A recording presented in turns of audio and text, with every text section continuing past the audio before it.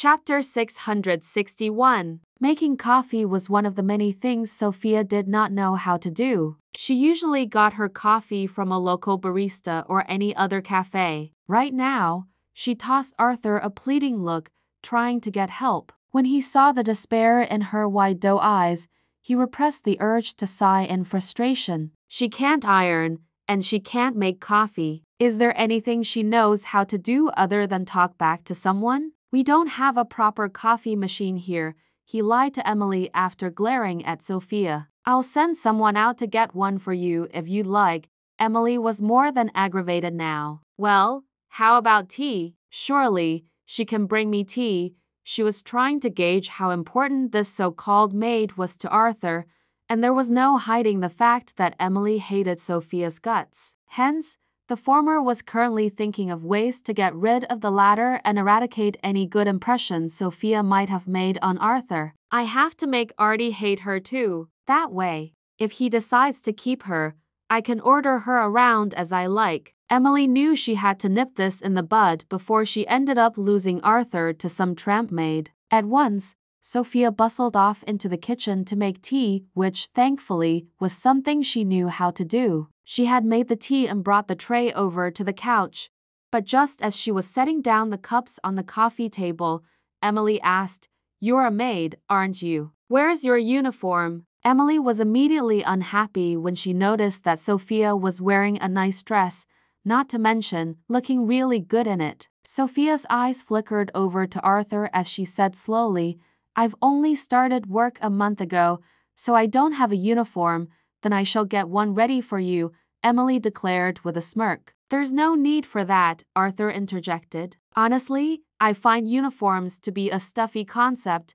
This made Emily choke on her tea. She began to wonder just who Sophia was to warrant such concern from Arthur, who was famed for being stoic, and why he kept speaking up for her. Thank you, young Master Weiss, Sophia said, then backed out of the living room. She had a feeling that her life here wasn't going to be all rainbows and butterflies now that Emily had moved in. That woman's a jealous one, she thought grimly. Still, she would not have to suffer like this if she could find that man's necklace. Where could that family heirloom possibly be? She wanted to cry out in exasperation. Of all the people she could have a score to settle with, it just had to be an eccentric jerk like Arthur. Meanwhile, over at the Presgraves, Anastasia received a call from Lorelai that morning. Lorelai told Anastasia that she was desperate to design the perfect jewelry for her friend's engagement and that she was wondering if she could drop by to have Anastasia's input on the design sketches today. Naturally, Anastasia did not reject her plea for help and invited her over to the house without hesitation.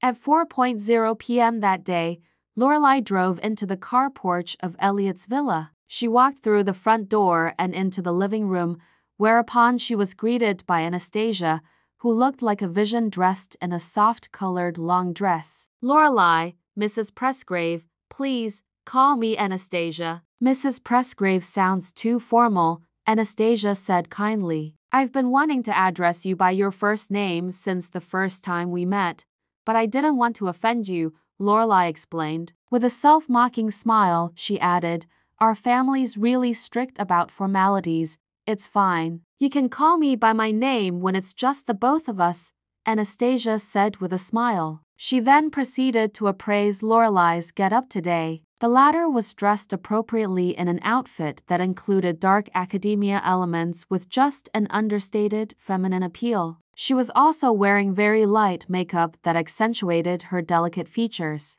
Upon taking the sketch from Lorelai and giving it a cursory look, Anastasia praised, There's definitely talent here and creativity too, just said an inspiration.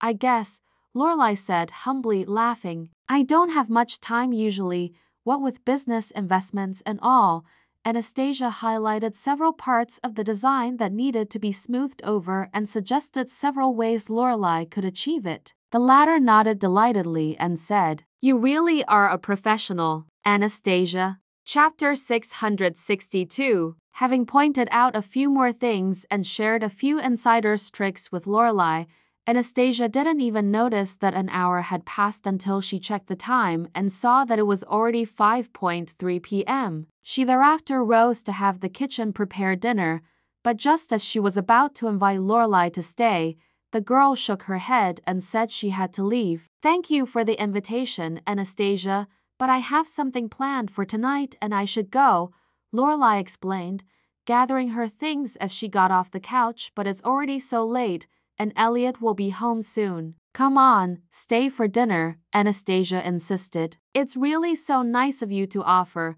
but I couldn't impose, not tonight at least. Dinner's on me next time, okay? Lorelai said, politely but firmly turning Anastasia down. In that case, I'll see you some other day. Anastasia walked with her out the door and to the car. Sliding into the driver's seat, Lorelai gave her a small wave and said, Thanks for today. I'll see you around. Drive safe, returning the wave, Anastasia watched as the car pulled out of the porch and out the front gates. Presently, the vibrant sunset glow was cast over the garden, coating it in a warm golden hue. There were thoughts behind Anastasia's clear, bright eyes as she stood outside. She did not go back into the living room. Instead, she glanced at the watch on her wrist. Jared should be home by now. As expected, the fleet of cars escorting the little boy pulled up outside the house but did not drive in. Jared leaped out of one of the cars and dashed through the gates. He ran up to Anastasia when he saw her and asked happily, Mommy, were you waiting for me? Yes, I was, she answered with an affectionate smile. He beamed and held her hand while, exclaiming, I love you so much. Mommy, I love you too. She reached out to ruffle his hair, then led him into the house. When Jared got into the living room and saw the kitten darting back and forth on the couch, he quickly set his bag aside and began to play with the feline. The little furball had only grown cuter since they first got it. A little later into the evening, a black Bugatti sports car drove and parked on the car porch. The soft purr of the car engine indicated that Elliot had returned. Anastasia was reading on the grassy lawn right outside the living room while Jared was playing with the cat. When she saw Elliot walking up to her with his silhouette outlined by the twilight glow, she set her book down and ran to meet him in the middle. She had missed him dearly after not seeing him for the whole day. Upon seeing her running his way, Elliot opened his arms and caught her just as she threw herself into his embrace like a child. He lifted her up by the waist and twirled her once, then set her back down. Missed me? He asked teasingly. There was a warm and gentle gleam in his eyes as he kissed her forehead indulgently. She nodded, smiling as she said, I did, Daddy, I want a kiss too, Jared demanded as he approached the loving couple with the kitten in his arms. Elliot let go of Anastasia and bent to pick up the little guy, then kissed him on the cheek lovingly. Did you have fun at school today, Jared? You bet, Jared replied with a firm nod. The kitten looked decidedly unhappy when it saw that everyone else had received Elliot's affection. Meow. Chapter 663 Having considered the feline to be part of the family, Elliot reached out to pat its soft, furry head and asked, You're not angling for a kiss too, are you? The kitten meowed once more as if to answer in the affirmative. Amusement seized Elliot as he continued scratching the cat behind its ears to placate it. There was a serenity in the way the family of three and their cat hung out with each other under the evening sky. For a while, it was as if the world was at peace. Meanwhile, Lorelai was on her way home when she called her mother and told her what happened with Anastasia. Upon hearing the details, Kendra said on the other line, You did the right thing, Lorelai. That way, Anastasia won't be suspicious of you or see you as a threat. Lorelai had deliberately dropped by Anastasia's house during the late afternoon and left before dinner time just so the latter wouldn't think she was trying to butt into her family affairs. The clever planning would help Lorelai make a good impression on Anastasia, who would then put her guard down. Presently, there was an ambitious glimmer in Lorelai's eyes as she said, By the way, Mom, I've already sent in my resume to Presgrave Group. That's a little too soon, Lorelai. My father said not to rush the plan, remember? After all, Elliot is still in his honeymoon phase with Anastasia. You ought to wait until she's got a second kid on the way before you make a move. Mom, don't worry. I'm only doing this to gauge Elliot's feelings for me. That's all, Lorelai explained. It was like playing chess, and every move she made along the way was intentional with a purpose behind it. Very well, but make sure that you pace yourself and don't muck up our plans. I know, Mom. I'll be careful, Lorelai promised calmly. It was 10.0 p.m. when Anastasia got out of the shower that night to get ready for bed, only to see the kitten clambering onto the couch, its claws digging into the fabric as it launched itself onto the padded cushion. It let out a soft mewl as though to insist it could make it on its own. Anastasia sat down to the side and asked in amusement, Shouldn't you be with your darling little master instead of hanging out in our room? The kitten managed to get onto the couch, and as a reward, it staked out a corner and curled up in it, then dozed off. Just then, the bedroom door opened and Elliot walked in dressed in his lounge suit. He had only just wrapped up an online conference with international affiliates, and there was an imperial, decisive, and deadly air about him that made him all the more attractive. Anastasia loved it when he wore suits, and she couldn't help the primal urges that seized her during moments like these. It was an almost feral instinct that made her want to leap over and help him shed the stoic looking suit. However, she had seen the hidden side of him, the side that lay on the other end of the spectrum from his aloof state. As though reading her mind, Elliot kissed the top of her head and murmured as he undid the buttons of his suit, Give me 20 minutes. She smiled and asked innocently, And what will you do after 20 minutes? Bemused, he raised a brow and gave her a knowing look. What do you think? I'm afraid the idea will have to be put till a week later, she confessed, not wanting to give him the satisfaction. Off he understood immediately. Flashing her a roguish grin, he teased, Well, in that case, perhaps I should save up my energy till then. She pouted and gave him a somewhat distressed look, to which he responded with a laugh as he headed into the shower. When he was done, he came out of the bathroom and saw her curled up in bed. He slid under the covers while she was still reading and pulled her into his arms so that she could lean against him. Honey, I don't want to be a housewife anymore. Anastasia grumbled softly. Elliot stroked her hair tenderly and said, You can do whatever you want. Chapter 664 I want to take charge of Bourgeois, Anastasia said as she looked up at Elliot. Francis initially wanted her to continue managing Tillman Constructions, but she had no interest whatsoever in building materials, so he decided that he would hand the business over to Elliot after retirement. All right then, you'll be the commander-in-chief for Bourgeois from tomorrow onward, Elliot said. He couldn't care less about profit margins and operating costs as long as his wife could amuse herself. He would always be there as a safety net for her. Warmth surged through Anastasia when she heard this, but before she could thank him, he added, Go and do whatever you like. Don't you worry about a thing, because I'm always going to be here to catch you when you fall, okay? In that quiet room, Elliot's tender love and indulgence for Anastasia seemed audible in his words. He sounded firm and assuring, making her heart skip a beat. Upon hearing the solemn promise underlying his bold statement, she felt like she was in the safest harbor, protected by some great universal force. She could do whatever she liked, and if she messed things up, he would always be there to help her get through it. She did not need to worry about a thing, because he was the fort that would keep her shielded from the brutal consequences of failure. That said, Anastasia knew taking over Bourgeois was not just a game she decided to play on a whim. Now that she had voiced out her desire to run it, she would have to make her words count and show him she was not just doing it out of fun.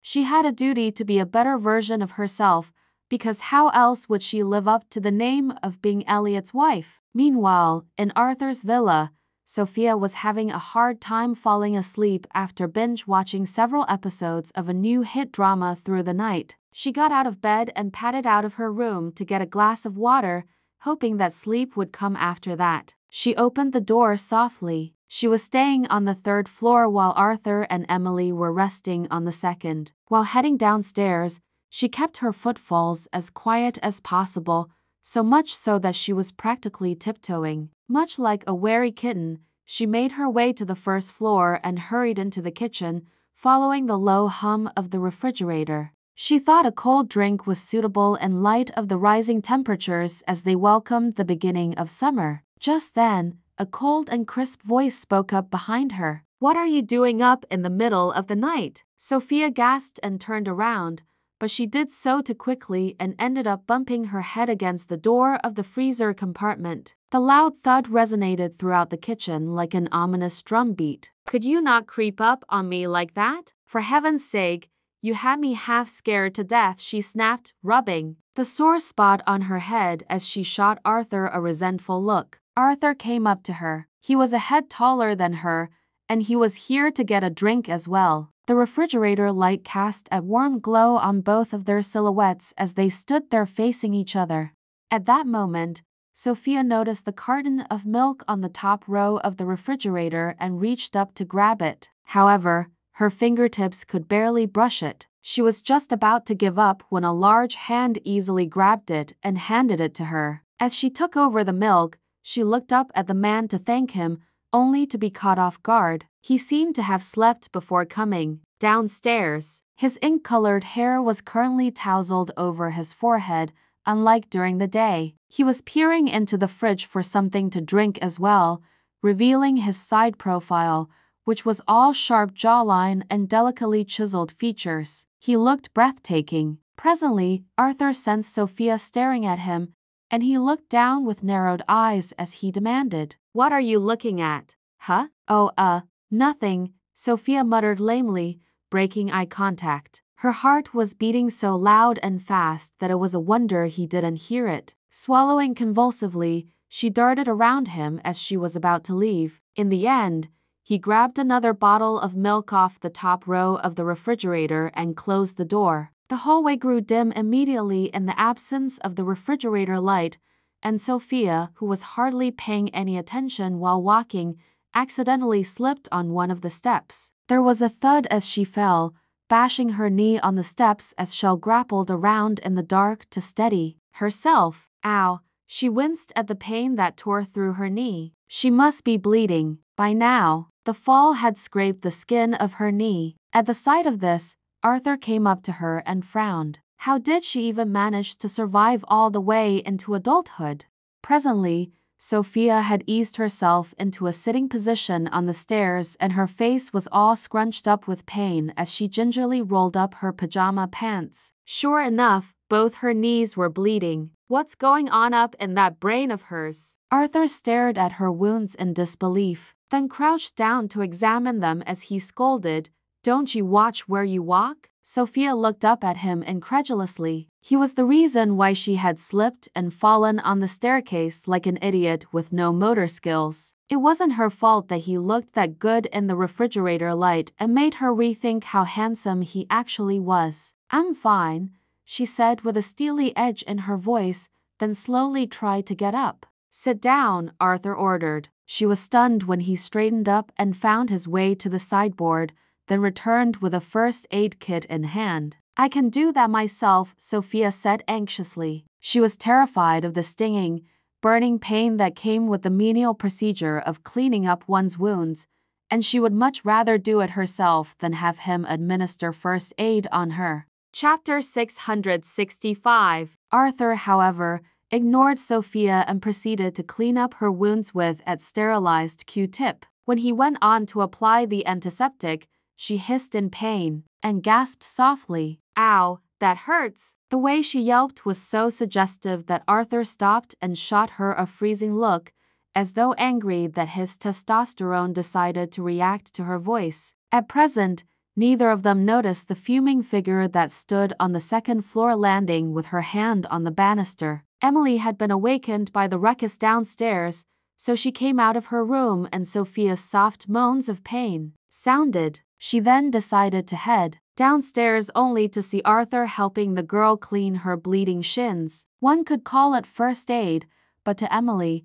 who was so blinded by jealousy she could hardly think straight, Sophia was a cunning vixen who had resorted to such cheap acts to win over Arthur's attention. What happened, Arthur? Emily asked aloud. Pretending as if she had been woken up by the commotion as she continued her way down the rest of the steps. Sophia hurriedly rolled down the legs of her pajama pants and apologized. Did we wake you, Miss Jennings? I'm terribly sorry for that. Did something happen to you? Emily asked, meeting the other girl's gaze confrontationally. I fell and scraped my knees earlier, so Mr. Weiss helped me stop the bleeding, Sophia answered frankly. Well, if you're not bleeding anymore, then go back to your room, Emily bit out grimly. Arthur went to keep the first aid kit while Sophia hurried up the stairs, but when she passed Emily, the latter grabbed her by the wrist and warned through gritted teeth. Stay away from my man if you don't want to end up in the sorriest circumstances known to man.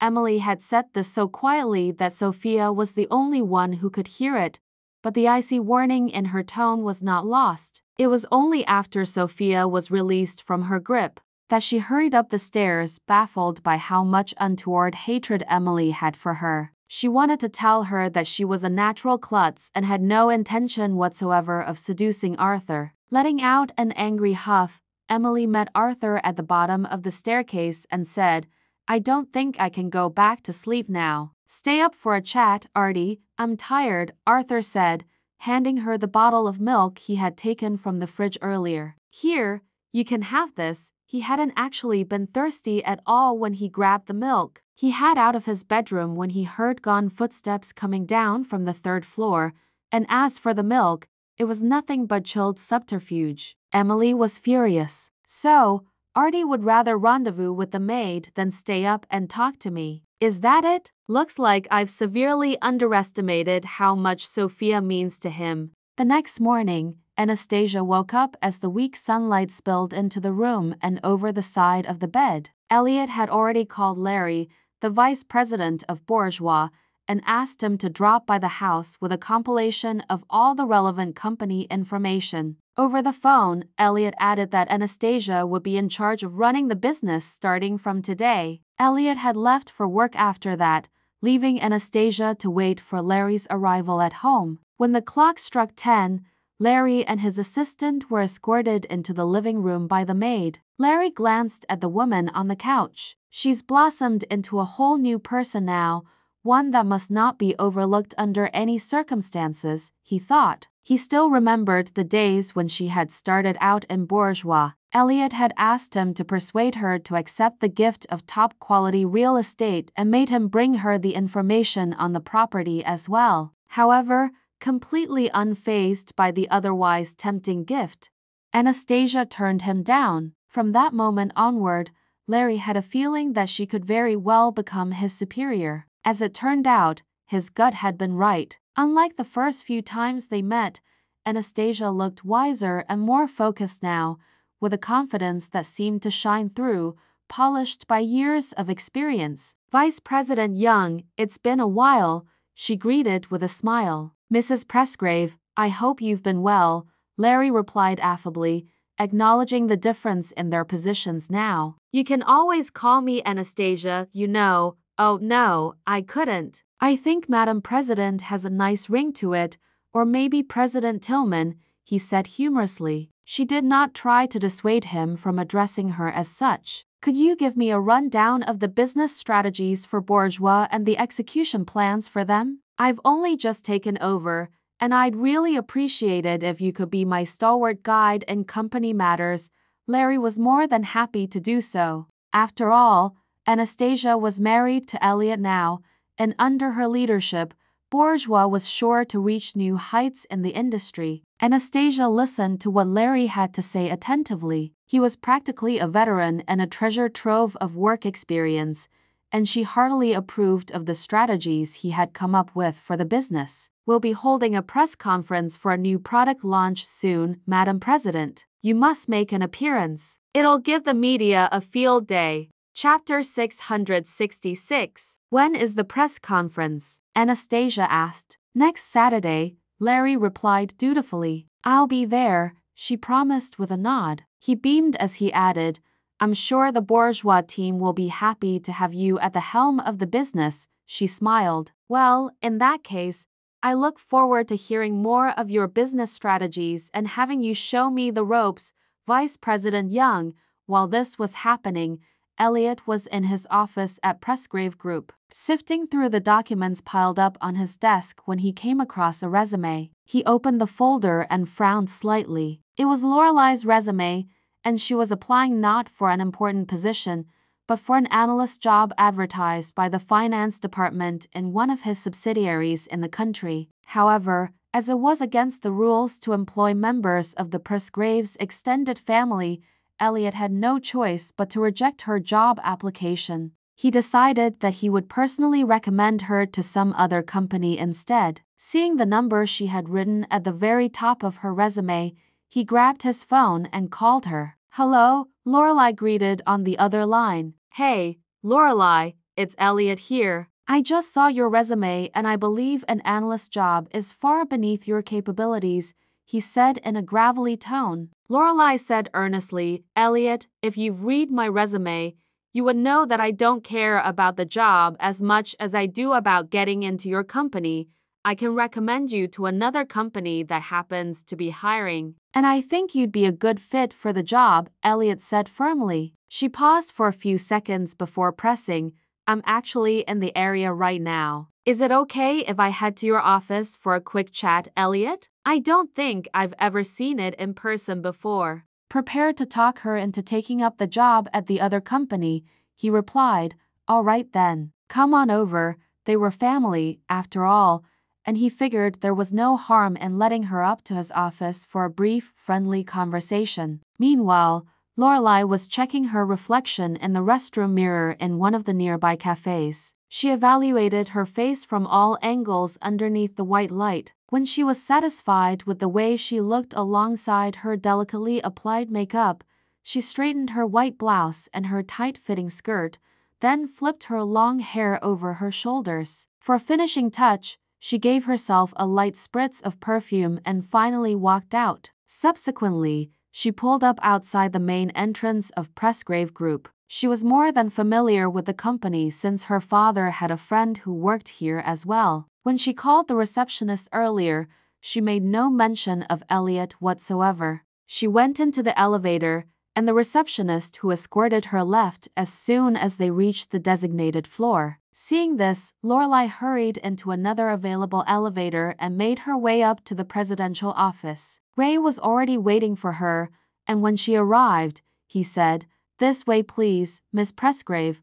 Lorelai nodded and followed him into the spacious office, which she thought was only charming because of its owner, Elliot. She greeted warmly when she saw the man on the couch. Oh, good, you're here. Have a seat, Elliot said, gesturing toward the matching couch across from him. This place is humongous, and that view outside is absolutely stunning. She was never one to hold back on compliments, and the words flowed smoothly off her tongue as she flashed him a smile. Elliot handed her a docket of information and said, That's the financial company I was telling you about. The president happens to be a friend of mine. I already put in a word for you. And he said you could start working immediately without having to go through an interview. You pulled strings for me. Wow, I'm honored, she exclaimed. Taking the docket, she leafed through the company profile and the position they were offering her, then looked up with bright eyes as she asked, They're going to make me supervisor. He nodded. You're qualified for it. That's so nice of you to say, Lorelai said with a sweet smile, admiration glittering in her eyes. Elliot's gaze fell upon the document on the coffee table as he said, You can start work next Monday. Chapter 667 Seeing that you've done me such a huge favor, I don't see how I can turn down the offer, Elliot. It's so nice of you to put in a good word for me. Shall I buy you lunch as thanks for the recommendation? Lorelai asked, sliding the lunch invitation in as naturally as she could. Elliot wasted no time in rejecting her politely. No, thank you. I have something else planned for noon. Maybe next time. Well, when exactly is next time? She was not going to give up on spending time alone with him. It depends, he answered vaguely. He had no plans on accepting her gratitude. I'll let you know when I have the time, really? I'll hold you to that, she said cheerily, flirting subtly as she backed off. She knew that pressing him further would only irritate him, or worse, make him suspicious of her. Nevertheless, she did not leave the office after that and merely fanned herself so that the faint fragrance of her perfume would waft over in his direction. By the way, I'm a little parched from rushing over here. Could I have a cup of tea, please? Realizing this, he turned to address Ray, Go fetch two cups of tea. When the assistant left the office, Lorelai rose from the couch and walked insouciantly over to the glass wall, basking herself in the afternoon sunlight that spilled generously into the office. She knew her years of toning her figure in the gym had rendered her completely irresistible to men, especially her cinched waist and her subtle curves which inspired most of their scandalous thoughts. If Elliot was looking at her, or even daring a glimpse, it would be more than enough for her. However, when she glanced into the reflection on the sparkling glass wall, she saw that he wasn't even looking in her direction. In fact, he had his head down as he flipped through work documents. The only thing that she saw on that glass was her own disappointment. She spun and returned to the couch, then picked up her cup of tea. Taking a sip, she asked, I'm not bothering you, am I Elliot? No, he replied distractedly as he glanced up at her, then signed the document with a flourish. I'll be taking my tea in a bit, he was just about to reach for his cup. When his phone rang, he took a look at the caller ID and smiled warmly. Knowing immediately who was on the other line, Lorelai pointed out hastily, Is that Anastasia? Don't let her know I'm here. I don't want her getting the wrong idea, Elliot chuckled. Anastasia is better than that. Naturally, he did not plan on telling his wife about Lorelai's visit either. He picked up his phone and greeted in a voice like velvet, Hey, sweetheart. So I just had an informal meeting with Larry, and I told him to get an office ready for me. Guess we'll be going to work together from now on, honey. His eyes positively glimmered when he heard this, and he chortled as he said, You know what? I'll get him to set up an office right on my floor so that we can see each other all the time. Unfortunately, his suggestion was rejected by his wife, who countered, No, I don't want to be on the same stuffy floor as you. I want to have my own space on the same floor as Bourgeois. He was admittedly hurt, but he brushed it off and gave an exasperated laugh. All right, we'll do it your way, across from him. Lorelai held her teacup to her lips and glanced at the man who was standing by the glass wall. She took in the sharp lines of his silhouette longingly and her heart twisted with bitter jealousy when she heard the gentle way he spoke to Anastasia. She had not seen him for close to a dozen years, but his figure was imprinted in the back of her mind, and she never forgot him even though her father had forced her to stay abroad for years. If it weren't for her father, she would have returned to Elliot's side years ago. Alas, fate had a cruel sense of humor for her existence got in the way of her father stealing the Presgrave family fortune. She never even got the chance to tell Elliot of her feelings for him, and all this while, she remembered him as the boy next door who had sent her heart racing since they were children. She could still remember how they used to run around the Presgrave residence gardens together and how he would take her hand to help her to her feet whenever she fell. He would comfort her when she cried, and stand up for her when she broke a vase or two. He was the only religion she ever knew as a child, the one person she wanted to devote herself to on a daily basis. But the universe clearly hated her because by the time she saw him again after all her years abroad, he was already married with a kid and he had become devastatingly handsome, more so than she remembered. Yes, I promise I'll take a break when I need to and that I won't be a workaholic, Elliot murmured into the phone with a lovesick grin on his face. He then went on to ask about her morning, and after reminding her to keep warm during her time of the month as well as exchanging sweet nonsense with her, he hung up reluctantly. He turned around, and he seemed surprised to see that Lorelai was still there. Following, he walked over to the couch and took his seat. So, it was Anastasia after all. You're so lucky to have found a wife like her. She's wonderful, Lorelai praised with a smile. There was a bright gleam in Elliot's eyes as well as he said, She's the best. I'm telling you, I don't know what I did to deserve someone like her. Chapter 668 The childhood memories flitted through Lorelai's mind like scenes from some old movie, emboldening her. Hence, she couldn't help bringing them up as she asked, Elliot, do you still remember the time when I broke the vase in your family home? I think I was about eight at the time, and I was so scared I couldn't stop shaking. You were the one who took the blame for me, and I managed to get off without punishment. Elliot was a little taken aback by this as he asked, I did that? Huh, I totally forgot about it. Her lips curled up in a smile. Well, I still remember, because those are the happiest moments of my childhood. They say that a happy childhood is a soothing balm to the pains of growing up, you know. So, I guess I should thank you for giving me some of the best childhood memories she looked up at him after finishing her sentence and her gaze lingered on the features that she so adored. Hearing what she said, Elliot gave her a perfunctory smile. Did you have a good time abroad? I suppose I did, though I was a little lonely, she admitted with a sigh. If I ever come across someone suitable, I'd be sure to send them your way.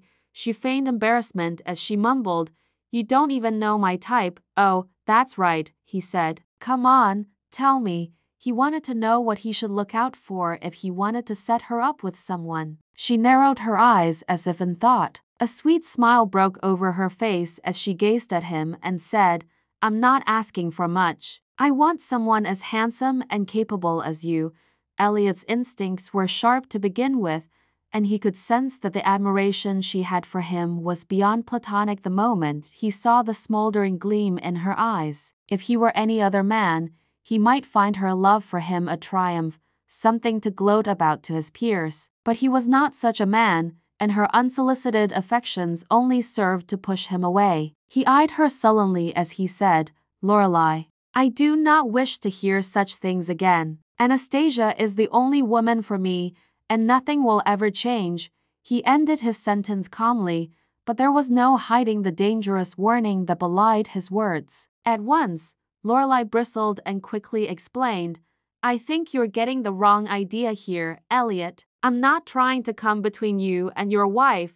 You're like a baby sister to me. Always have been, always will be, he continued while his gaze darkened. At some point, it was like staring into the icy depths of some pitch black abyss. A chill ran down her spine when she heard this. More than anything, she was surprised to be rejected by him. I'm sorry if I cracked a joke and it went too far. Elliot, I guess I thought it was okay for me to say something like that because of how much we used to hang out as children, she apologized lamely, attempting to salvage the situation. However, Elliot did not bother letting her continue with her explanation, be it true or false. I have a meeting to get to, so you should go. With that, he picked up the documents he had signed earlier and walked back to his desk. Lorelai, on the other hand, rose in a daze and said slowly, I'll get going now then. Goodbye, Elliot. When she was out of the office, she clutched the front of her shirt and stared into space helplessly. She never imagined him to be so loyal to his marriage, much less so protective over his wife. This could become a hurdle to her father's plans, but she figured this hiccup was only due to the fact that Elliot was newly married. At some point, he would grow weary of Anastasia and begin to resent her for chaining him to a miserable marriage. If Kendra's advice was anything to go by, he would start feeling that way around the time Anastasia fell pregnant again, and that would be Lorelai's window of opportunity.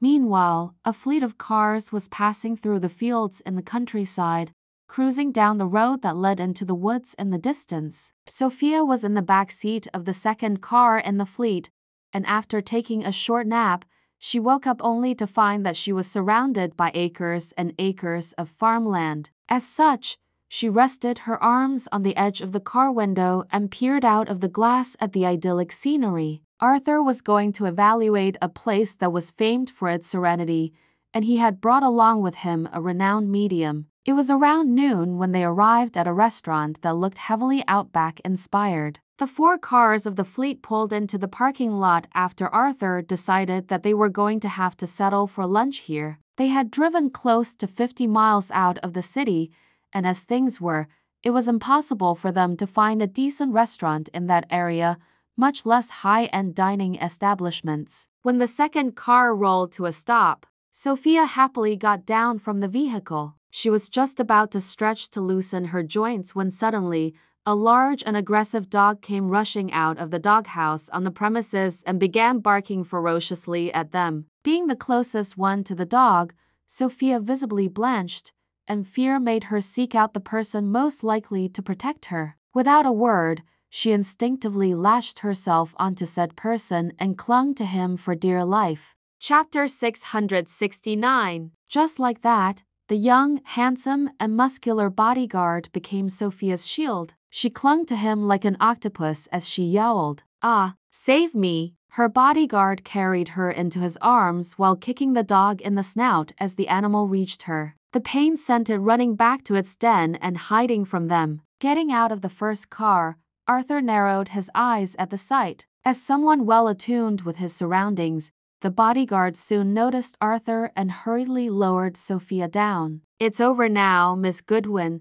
Thank you, sir. She grinned at him with gratitude evident in her eyes. You're welcome, he stiffly replied, looking down at his feet in fear. She shyly glanced at the bodyguard's face. She had noticed this man for a while now. He was the youngest of Arthur's men, and despite being of a mixed race descent, he spoke fluent English. Whenever he was at work with an earpiece on, he looked so very handsome. When Arthur saw the admiring look in her eyes, he tuned out the fortune teller standing beside him. Did Sophia have a crush on his bodyguard? Stepping out of the third car, Emily elegantly sashayed over to Arthur. Are we having lunch here, Artie? It was obvious from her tone that she did not want to dine here since this place was below her station. Furthermore, the ground was so filthy that just standing there had sullied her exquisite shoes. I'm so sorry about that. Did it hurt you? The friendly owner of the shop came rushing over to welcome them. Are you dining here? Oh, yes, Sophia answered with a smile. When she later saw the bodyguards dining outside while Arthur and the others headed into a private room, she said to him, I'll be dining outside, Mr. Weiss, she wanted to dine with the handsome bodyguard, after all. We will dine together, Arthur replied. Artie, she's just a servant, Emily protested. Let her dine outside with the bodyguards. Miss Jennings is right, Sophia said in agreement. I'll take my leave now. She then walked over to the table with the handsome bodyguard and sat down by his side. Emily linked her arm through Arthur's and led him into the private dining room. As the place was not busy, their food had arrived quickly. Sophia's head spun when she saw just how fast and quietly the men ate. In around 10 minutes, everyone was done eating. Take your time, Miss Goodwin, said the bodyguard sitting beside her. Are you guys done? We're all done eating, he replied before heading outside with the rest of his co-workers to keep guard. With a resigned sigh, she pulled out her phone and began eating while scrolling through the news. Meanwhile, inside the private room, the fortune teller was continuing about the complexities of his field. Arthur solemnly listened to every word being said, but Emily was bored out of her mind as she had no interest at all in fortune telling. Finally, they returned to the cars. When Sophia saw that the bodyguard she had a crush on was opening the door for her,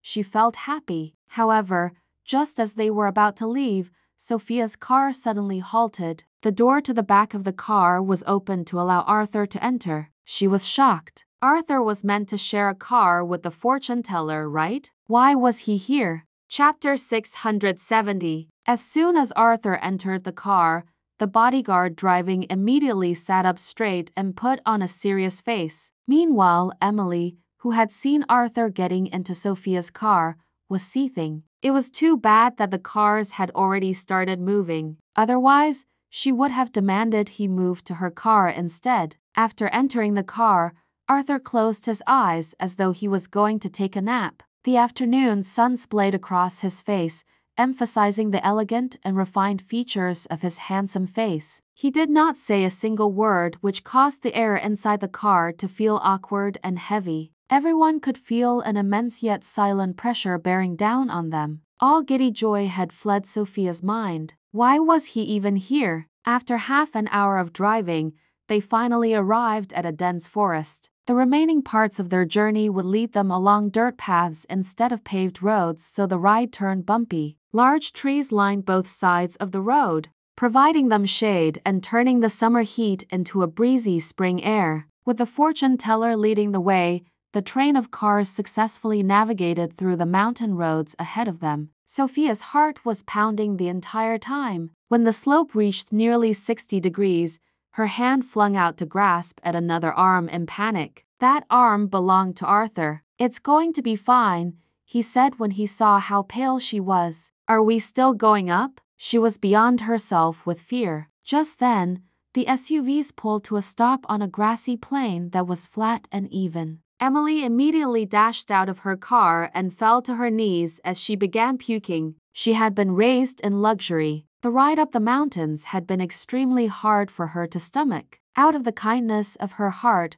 Sophia handed her some tissues. Are you okay, Miss Jennings? Although Emily accepted the offered tissue, she still shot Sophia a glare. Was Sophia laughing at her? Young Master Weiss, we will need to walk for a while longer before we arrive at our destination. What? We still have to walk? Emily loudly protested. Why did she come along? All she got was pain and suffering. How long do we have to walk? About 20 minutes or so, replied the fortune teller. Rest in the car, Arthur said to Emily. He then glanced at Sophia. Can you walk? Not wanting to stay behind to be at Emily's beck and call, she hurriedly nodded. Yes, I am fine with walking, do not go. Sophia, stay with me, Emily suddenly said. She would not give Sophia any chance to go on a stroll with Arthur. She had to split them up. Alastair, Arthur said, pointing to the young bodyguard Sophia had a crush on. You'll be staying behind to take care of Miss Jennings. Yes, sir, replied Alastair with a nod. In that case, I'm going with you too, Emily spat out through gritted teeth, filled to the brim with frustration. However, as soon as she said that, she began vomiting once more. We have a tough climb ahead of us. You should rest here instead.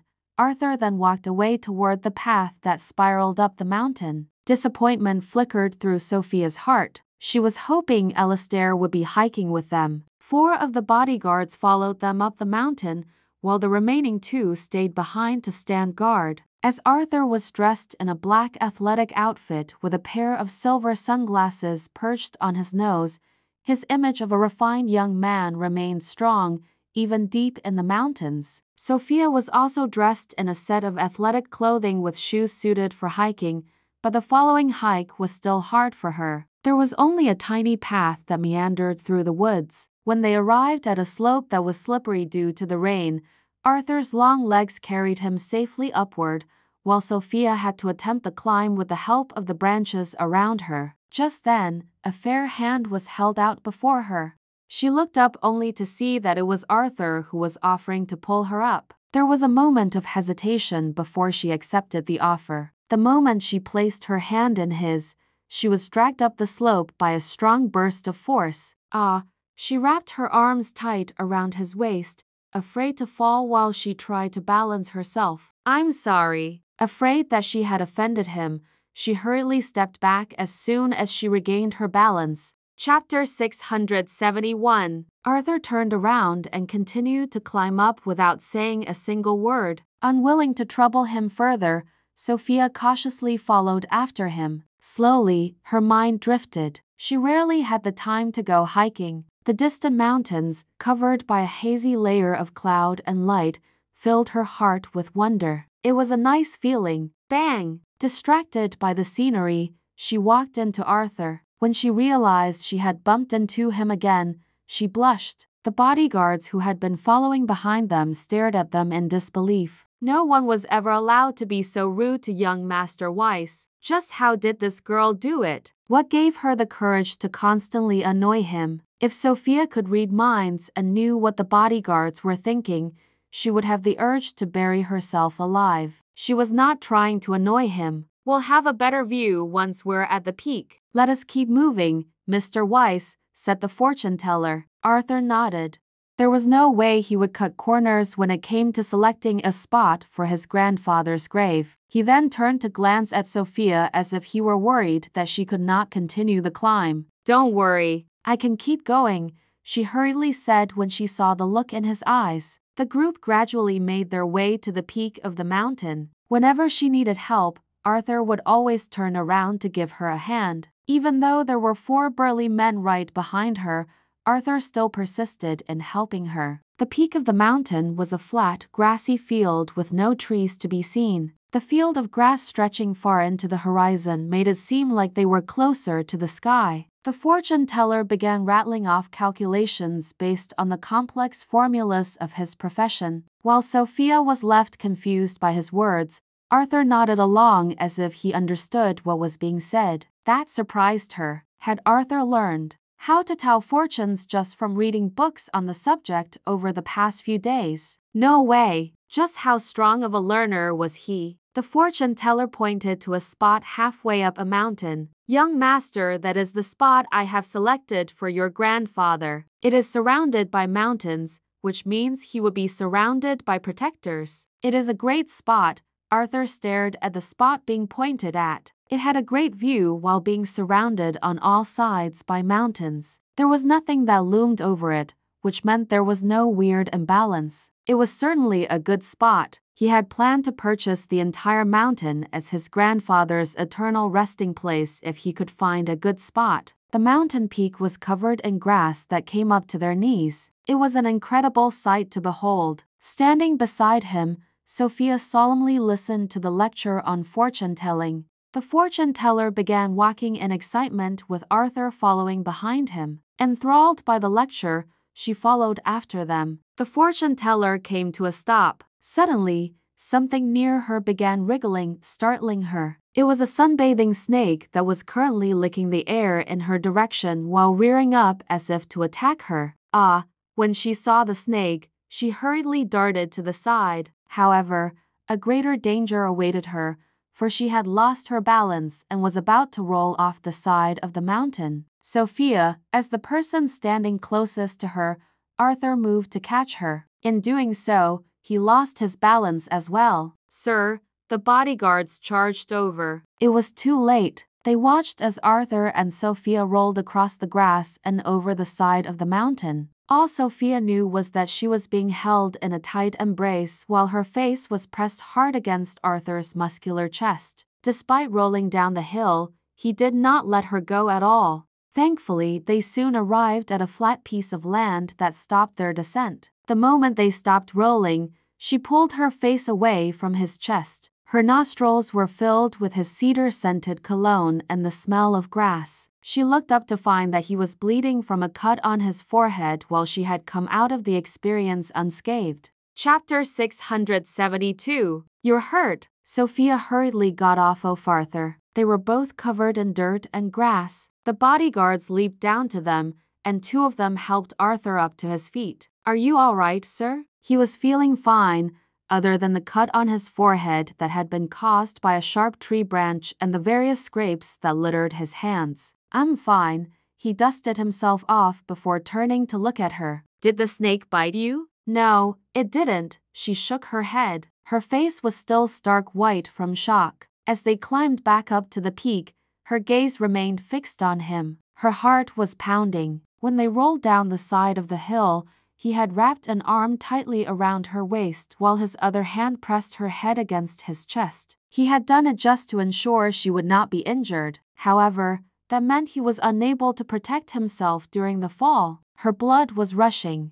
The high and mighty young master had actually risked himself to protect her. What if she had fallen off a high cliff instead? From how tightly he had wrapped himself around her, would he fall with her as well? The bodyguards pulled out a first aid kit, then cleaned and dressed the bleeding cut on Arthur's forehead. The fortune teller was scared out of his wits by the dangerous situation Arthur had placed himself in. Are you all right, young Master Weiss? I'm fine. Continue, Arthur said with a wave of his hand. His bodyguards spread out around them, area sweeping the for any signs of snakes. Even Sophia was starting to feel afraid of the grass around her. That snake had been the longest snake she had ever seen in her life. By the time the fortune teller was done with his analysis, Arthur had his men take photos of the area instead of making a decision right then and there. He would decide after thoroughly researching the area. Hiking up a mountain was always easier than hiking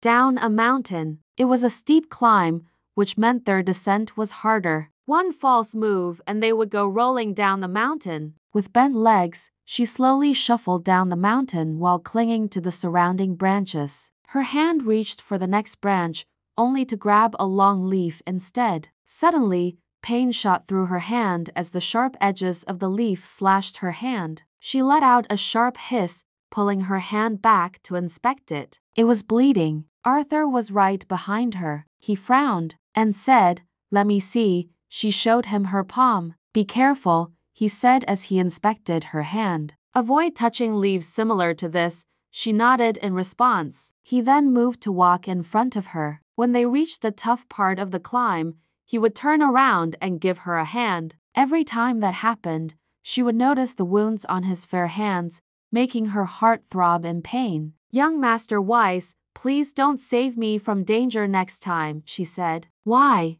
He turned around and stared into her eyes. I'm afraid you will be injured. I do not want you to get hurt because of me. She solemnly stared back at him. I'm a lucky man. I won't die. He turned his attention back to climbing down the mountain. They soon arrived at another steep section. Just as she was cautiously making her way down, he suddenly lifted her up horizontally since he was already on a safe, flat spot. Her mind was stuck in a dazed state, and she only snapped back to her senses when she was finally put down. Arthur had carried her. Finally, they were back on the dirt path they had initially followed and had safely made it back to the cars. Emily had been waiting for their return.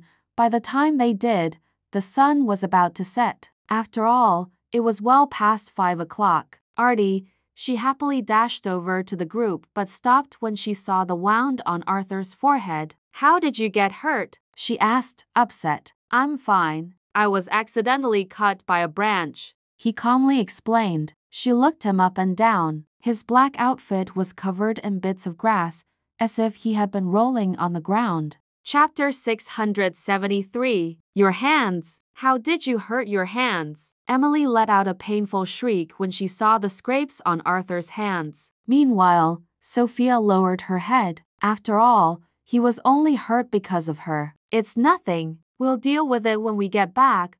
Arthur then led Emily back to the car. As she got in, she said, Artie, I want to ride in the same car as you.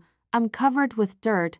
He merely replied before closing the door in her face. She then watched as he turned to the second car of the group and joined Sophia in her car. Her eyes were blazing with rage. Was a simple maid better than her now? They started on the journey back. Sophia could not handle it any longer. Driving downhill was even more frightful than their ride up. She clutched tightly to the handlebars in the car and looked away from the road ahead. On the other hand, Arthur was as calm as one could be. He had the utmost faith in his bodyguard's driving skills. Once the cars were finally back on smooth, paved roads, they sped off toward the city like horses dashing through the night. It was dark outside by now. After an eventful day, Sophia was exhausted. Even though Arthur was sitting right beside her, she could not help but fall asleep. While she was dozing off, her head lolled to the side and leaned against his shoulder. Instead of pushing her away, he just let her be. She spent the entire journey back sleeping. By the time they arrived back at the mansion, it was around seven o'clock. Someone gently patted her cheeks. We're home, Sophia. She opened her eyes and blinked away her drowsiness. When she realized she had been sleeping against his shoulder, she immediately sat up straight. Goodness, had she spent the entire journey sleeping on Arthur's shoulder? Emily's maids immediately came to greet them. As they stepped through the doors, Arthur instantly went up to his room for a shower. Sophia was about to do the same when Emily called out for her to stop. Her sharp gaze scanned her. With the help of the room's lights, she could see the dirt and grass sticking to Sophia's outfit. Sophia, just how did Artie get hurt? She suspiciously asked. Sophia stared back, stunned. I will not be merciful if you lie to me, Emily threatened. I was nearly bitten by a snake when we were at the peak, and I lost my balance. Young Master Weiss fell down the side of the mountain with me as he wanted to protect me, Sophia bluntly answered. She had not planned to lie anyway. Emily's eyes went wide. She could imagine exactly what had happened. Jealousy roared through her as she scoffed. Are you sure you did not intentionally lose your balance so that Artie would hold you in his arms and roll down the mountain with you? You sure are doing a lot just to seduce him. You would do anything, wouldn't you? I. Just as Sophia was about to speak, Emily slapped her across the face and shouted, The nerve of you to assume you deserve Artie risking his life over. Take the slap as your warning. Sophia's head had turned away from the force of the slap. There was a loud humming noise echoing in her ears. However, she still managed to hear a man's voice barking out, Stop it, Emily. Arthur had come back down when he heard the commotion. He moved to stand between them. You are not allowed to hit her, Artie. She nearly killed you. It was just a lesson. Emily did not think she did anything wrong. In her mind, Sophia had to be reminded of her place. A maid did not deserve to be protected by Arthur Weiss. Enough. You do not have the right to hit her, he coldly said. He then turned around to look at Sophia. When he saw the bright red mark on her skin, he frowned. Head on upstairs and shower. Sophia moved to do as she was ordered. Artie, do you know how worried I was about you? Emily cried out, tears in her eyes. You must be tired as well. Get some rest, he said with a frown. Emily sniffled. You should have let her roll down the mountain by herself. You did not need to protect her. After all, you are an important person. Chapter 674 Get me an ice pack, Arthur said to the nearby maids, ignoring Emily. No, you cannot, Hate flashed across Emily's eyes. In response, the maids merely remained where they were. Do your job, Arthur commanded as his eyes darkened. There was no way any of them would dare go against a direct order from him. After all, they knew who the true person in charge was. They hurriedly handed him an ice pack and a clean hand towel. He then headed upstairs with those items in hand. Meanwhile, Emily was gnashing her teeth. She was certain this was all just one of Sophia's ploys to seduce Arthur. No way. The only person allowed to be Mrs. Weiss was her. No one could steal the title away from her. Sitting down on the bed,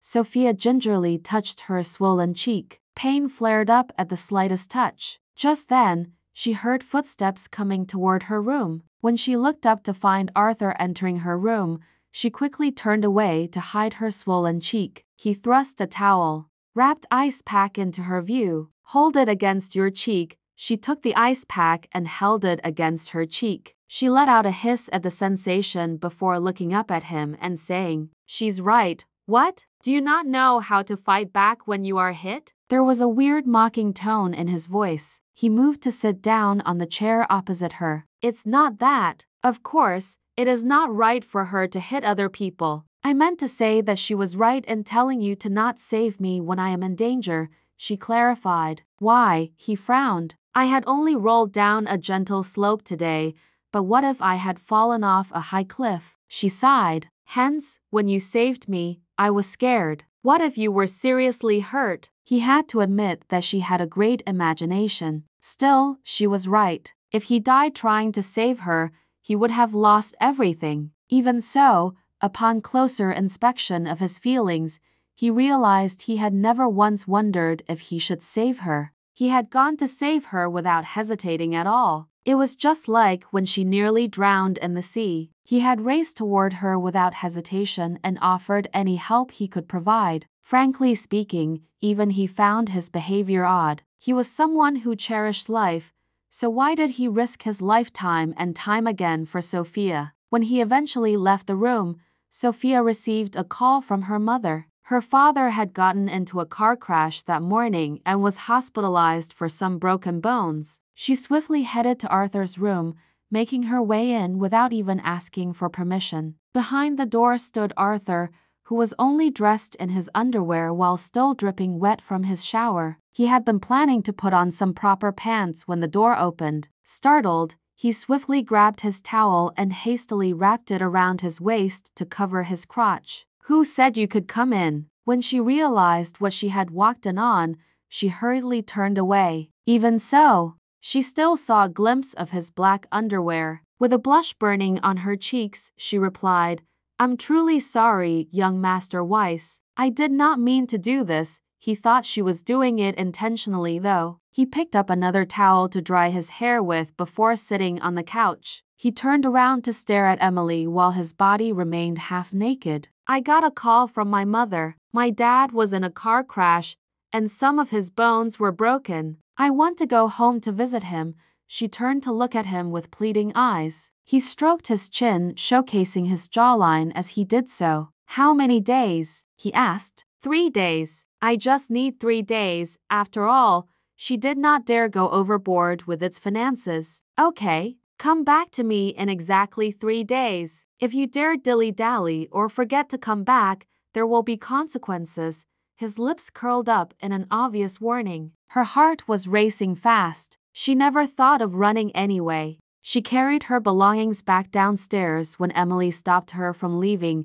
No one said you could leave, she said. Excuse me, but I have some urgent family business, Sophia politely replied. Chapter 675 Artie's family will be back in one month, Sophia. His grandmother would never allow a scheming woman near him. You had better leave on your own violation while you still can, Emily coldly sneered. However, her warning did not matter to Sophia at all since she had no plans to get anything from Arthur. The only thing she could ever want from him was his forgiveness. She would be immensely grateful if Arthur could forgive and forget. No need to worry, Miss Jennings. I do not have any schemes for young Master Weiss, Sophia solemnly replied. Emily scoffed. Do you think your innocent face can hide your thoughts? I have already reported to old Madame Presgrave about your schemes on Artie. Just you wait, you'll be in for a bad time. By now, Sophia had lost all patience with this conversation. She rushed out the door,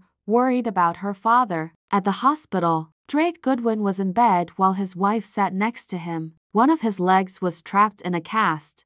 How are you doing, Dad? Is it very serious? It's not that bad. I just need to rest for a month or two. Say, what have you been doing lately? Young Master Weiss did not make life hard for you, did he? Tiana worriedly scanned her daughter up and down. She was relieved to find that Sophia had gained weight. I'm fine, Mom. I have been looking for that necklace with him, Sophia replied in a placating tone. In reality, Drake and Tiana were not doing well. They spent their days worrying as Drake had lost his company and owed a huge debt to the banks. However, they did not dare tell their daughter any of their woes. Without the company's dividends, the loan repayments were making life extremely hard for them. Presgrave residence. It was Anastasia and Elliot's first meal home after the wedding. Now that Harriet was an old woman, she discovered her liking for a lively environment. After dinner, Anastasia took a stroll under the stars with Elliot.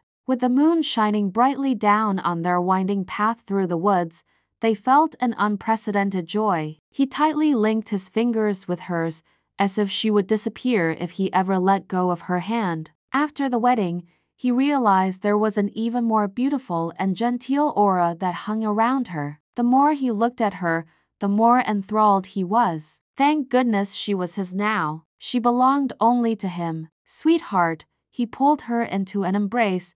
Hum, when she looked up at him, she felt a kiss on her forehead. She smiled and gazed deep into his eyes where she could see all the love he held for her. Achoo! Suddenly, she sneezed. He immediately took off his jacket and wrapped it around her. Don't catch a cold, she chuckled. I'm happy, even if I fall sick. That way, I can enjoy being taken care of by you.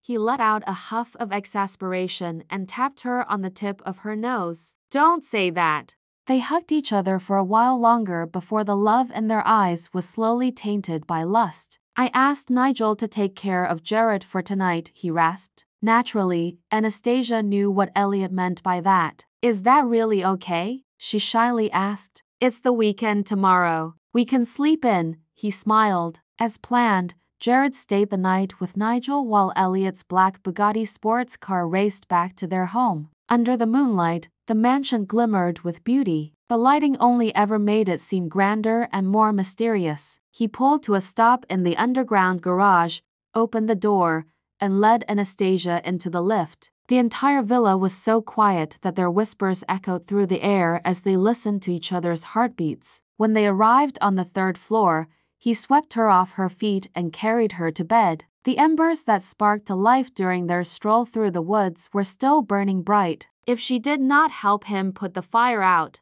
he would be blazing with lust throughout the night. The night eventually passed on and the morning soon came. Chapter 676 Anastasia was woken up by her internal alarm clock. She decided to cook some breakfast for Elliot. It had been a while since she was able to show off her cooking skills since they had servants. Thankfully, she was still skilled enough to cook up two hot bowls of noodles. The fragrant scent combined with poached eggs and slices of beef made the food seem even more delicious. She even took a photo of it and uploaded it to her social media accounts with the caption, Breakfast with Mr. Presgrave. Their morning had started now. Soon, Elliot arrived at the dining room. He had just taken a shower after his usual morning exercise. Dressed in loungewear, he was a walking hormone, yet he was oblivious to how attractive he was. She knew that the more she stared at him, the better her sense of beauty would be. In fact, if she ever divorced him, she might not be able to marry again. After all, Elliot was going to make her picky. Thus, she would do her best as Mrs. Presgrave. What an amazing wife I have, he praised. Do you only know that now? She giggled. No, I knew about it from the start. That is why I am so very lucky to have married you. All of the sweet nothings being spoken that morning was going to rot her teeth one day. With a chuckle, she pushed his bowl of noodles over to him. Eat up. After breakfast, she read up on the news. What she saw made her guffaw. Her post from that morning was currently trending. The cooking skills of rich madams exposed was the headline. Now that she thought about it, she could no longer post whatever she wanted on her social media accounts now. She had to keep a low profile. Perhaps she should set her post privacy to only me. Anastasia had a new product launch party to attend at Bourgeois that afternoon. As a certain someone had nothing to do, she decided to attend with the best accessory anyone could ever have her husband. The launch party would be held in an event hall owned by Presgrave Group. Several top tier celebrities and socialites had been invited, and there would be a fashion runway on which the atelier was going to be live streamed. When 2 o'clock rolled around, people began to show up at the venue. There was an order to everything as the paparazzi all showed up with their cameras and streaming equipment. Larry then received a call that made him drop all work and wait by the front gates. A Rolls Royce pulled up, and out walked a couple whom Larry happily greeted President Presgrave, Mrs. Presgrave, you're here. You've worked hard, Mr. Young, Anastasia smiled. No, no, I'm only doing my job. With a wave of his hand, Larry gestured for them to head inside. He then led them to the front row. It was then that Larry leaned down to whisper into Anastasia's ear, We would need you to make a speech later, Mrs. Presgrave. She was stunned. Next time, she said with a wave of her hand. She had not come prepared. Today, I am only here to admire the works. Very well. Larry would never force anyone to do something they did not want to do. Just then, someone walked over to them. It was Mason. President Presgrave, Mrs. Presgrave, Mason greeted with a smile. There's no need to be so formal, Mason. Just call me Anastasia. Mason could not do that. According to what he knew now, Anastasia was the new CEO of Bourgeois. There was no way he would dare go against societal rules. Soon, the various celebrities who had been invited greeted the people around them. None of them would dare to provide their benefactors with inferior service. Every lady present that night had dressed themselves up. However, none of them would dare start up a fuss while Anastasia was standing right there. Still, there were a lot of secretive looks and poses meant to attract Elliot's attention. Later that evening, one of the fashion catwalk models, Katrina, walked over to them. Mason's efforts had allowed her modeling company to take charge of the fashion runway. When Katrina saw Elliot, she was internally jumping with glee. From then on, she could be found primping before every mirror available to her. Furthermore, there was going to be a new spokesperson recruitment program happening after the launch. As an ambitious woman, Katrina wanted the chance to be bourgeois spokesperson. Chapter 677 Anastasia walked backstage to greet Felicia. After all, Felicia and her design team were the stars of the product launch party. Your designs are so beautiful this time, Felicia, Anastasia commented as she flipped through the art book. Everything in there was well designed. I hope we didn't disappoint you. In Felicia's mind, Anastasia was the boss. I believe in you, Felicia. Anastasia, suddenly, a lady called out from behind them before Katrina swiftly moved to stand behind Anastasia. Katrina, Anastasia greeted with a smile. Do you mind if we talk in private? Katrina nervously asked. She currently found it hard to talk to Anastasia because she exuded an oppressive pressure that Katrina did not like. Felicia gently patted Anastasia on the cheeks. I'll help the team out now, Anastasia. The moment Felicia was gone, Katrina took a deep breath. I know Bourgeois is looking for a spokesperson for their product. I was hoping I could have a chance to be in your advertisements. That is up to marketing. You can attend the interviews for the job, Anastasia smiled. Katrina bit her lip. Anastasia, can you make an exception for me just this once, please? My brother helped you all those years. After all, naturally, Anastasia knew exactly what Katrina was thinking. The woman wanted compensation for Mason's help all those years, and if the one making the request had been Mason, she would have gone along with the plan before asking about why. When Anastasia remained silent, Katrina continued, I know I should not be greedy and take advantage of something owed to someone else, but we are like a family. Can't you make an exception? Anastasia knew that Mason was not someone to ask for reparations either. I'll have to ask the team about it. I'll let you know when I have news. Thank you, Anastasia. Katrina smiled. When Anastasia left, she let out a sigh of relief. Her brother would not ask for anything in return because he was a proud man but she was not like him. She would use anything she could to help herself since she was not doing well as a model. If she wanted to become a celebrity, she would have to be famous first. When Anastasia returned to her seat, Elliot was chatting with Larry, who then stood up the moment he noticed her return. The show started the moment she returned. Lights beamed down onto the stage as masked models strutted while decked out in jewelry made by bourgeois. Naturally, Katrina was one of the models. She had all her attention focused on doing the best she could. However, when she walked by, she would stare at Elliot. Anastasia noticed it, of course. She knew what kind of woman Katrina was. As long as there was an opportunity, Katrina would do anything to seduce someone. Before the show, Anastasia had been contemplating giving her a chance because of her connection to Mason. Now, however,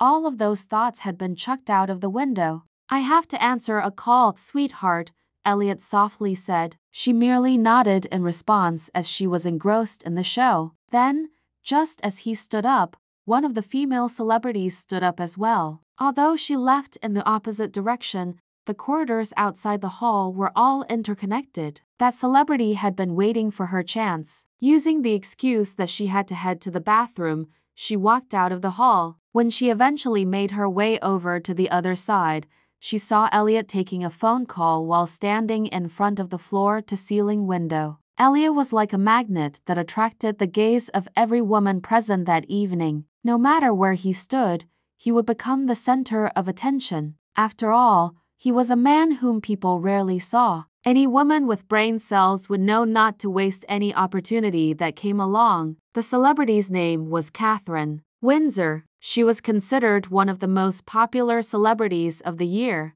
Due to a popular show that had recently aired, due to her fame, she had recently been announced as the spokesperson for Bourgeois New Products. However, her ambitions did not end there. She wanted a strong and powerful benefactor, someone like Elliot Presgrave, who stood at the top of the food chain. Elliot ended the call and turned to return to the event hall. At the same time, she pretended to be busy talking on the phone and acted as if she did not see him there. When she crashed into him, he reached a hand out to her shoulder to stop her from falling to the ground. Chapter 678 Catherine hastily apologized. I'm sorry. President Presgrave, I didn't see you there. This is all my fault. She then reached out and patted his arm. I hope I didn't hurt you. Elliot waved his hand and answered, It's fine. Oh, sorry about the lipstick stain on your suit. Let me take care of it.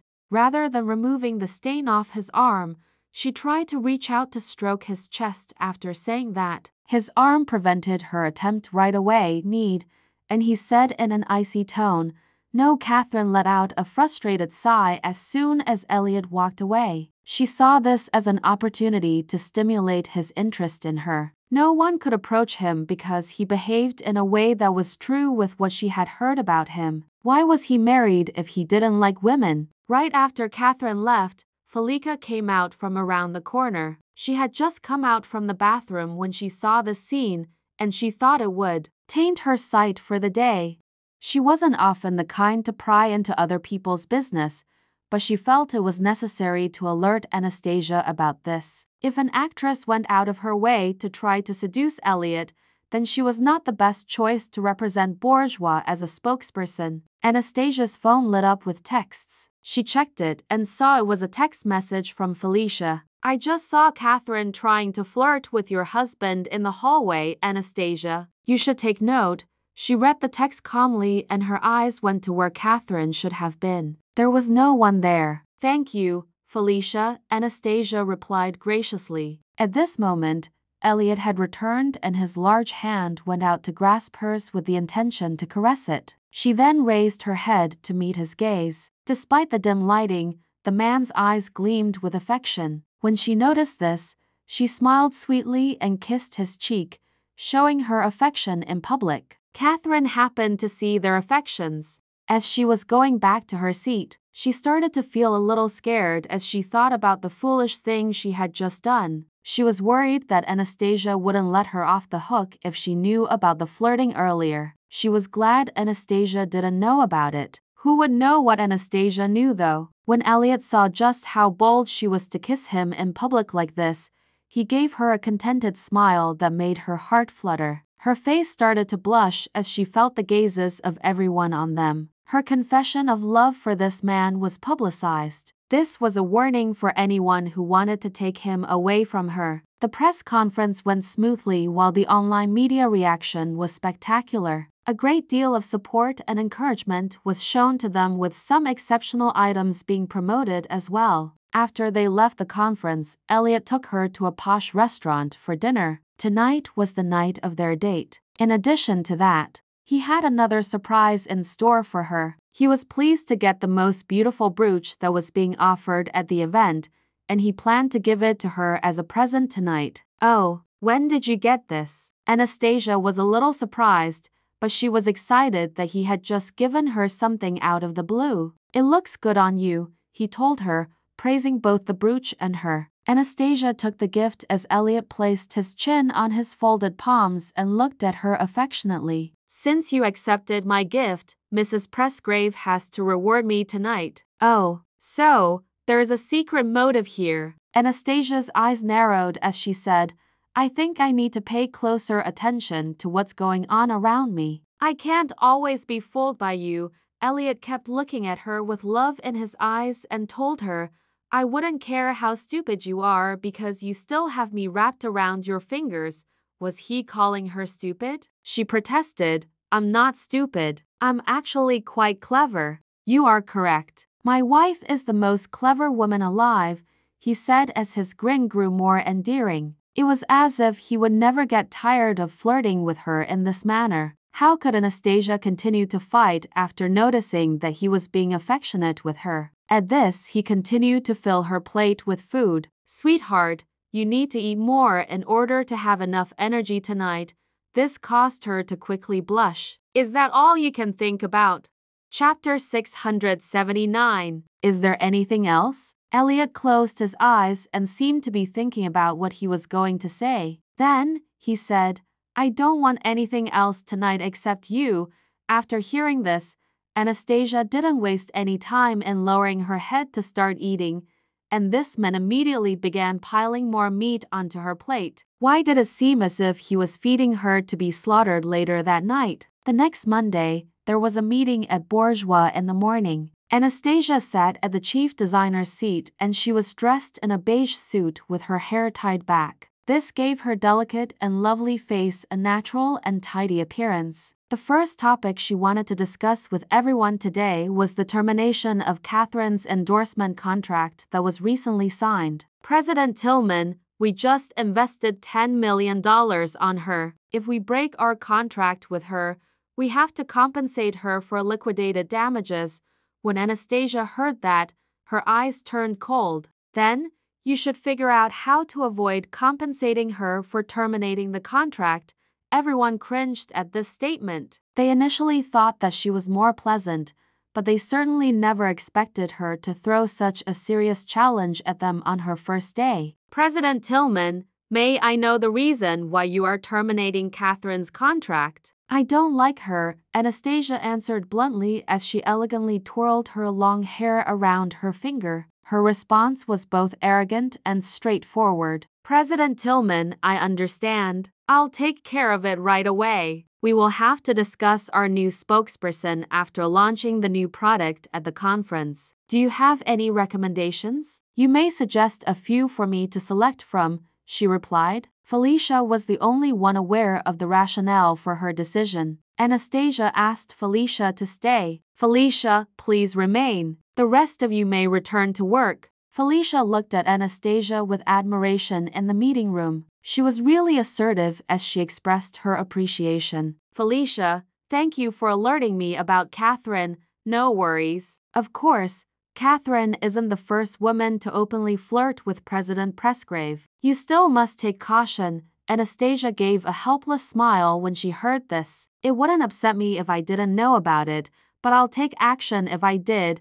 A phone call came into Catherine's office from Bourgeois Advertising and Planning Department to inform her agent that they were terminating their contract with her. What? What is wrong with my artiste? The contract has been signed. I don't think this is a good idea. The decision was made by our boss. Your boss is Vice President Young, correct? He was there when the contract was signed. No, it's our big boss. Who is your big boss? The agent asked anxiously. Miss Anastasia Tillman, President Presgrave's wife, has taken over as president of Bourgeois Jewelry Atelier. This startled the agent, who quickly responded, If you do this, you will be in breach of contract. Bourgeois would be obliged to pay liquidated damages in this manner. This is definitely something that we do not want to happen. We also wish to continue working with you for a long time. Our contract has an additional clause. If we believe the artiste has not fulfilled the conditions, we have the right to terminate the contract without any compensation. The agent and the employee from Bourgeois engaged in a lengthy discussion but Catherine's agent was finally forced to concede. Then, she summoned Catherine immediately and questioned her. Catherine, have you been involved in any scandals recently? You were dismissed by Bourgeois due to your indecent conduct.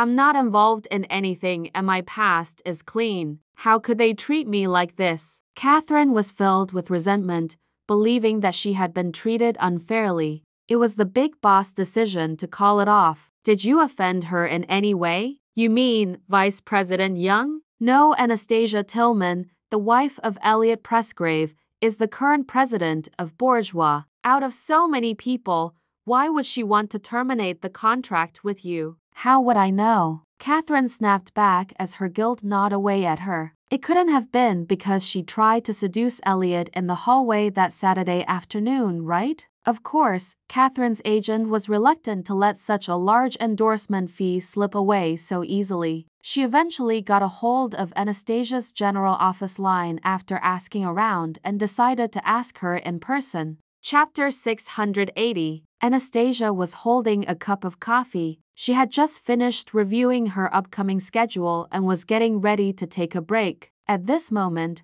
her office phone began to ring, and she reached out to answer it. Hello? Who is this? Hello, is this President Tillman? My name is Georgina Redding. I am Catherine Windsor's manager. I'm sorry to bother you, President Tillman, but I have to clarify something. The popularity and reputation of our artists are great, so I'd like to know exactly what it is about our artists that does not fit the standards of your company. We'll do all we can to resolve the situation as soon as possible. Anastasia's lovely eyes narrowed slightly as she heard this. You might want to find out what your artist was doing in the hallway on the day of the press conference. Tell her, if she does anything like that again, she will no longer be a part of the entertainment business. After she said that, she slammed the phone right away. Did you do anything to upset President Tillman on the day of the press conference? Georgina questioned Catherine, who was seated on the opposite couch after hanging up the phone. W. What could I have done? You better tell me the truth, Georgina snarled. Catherine began to chew on her lips as she grasped the severity of the matter and quickly elaborated.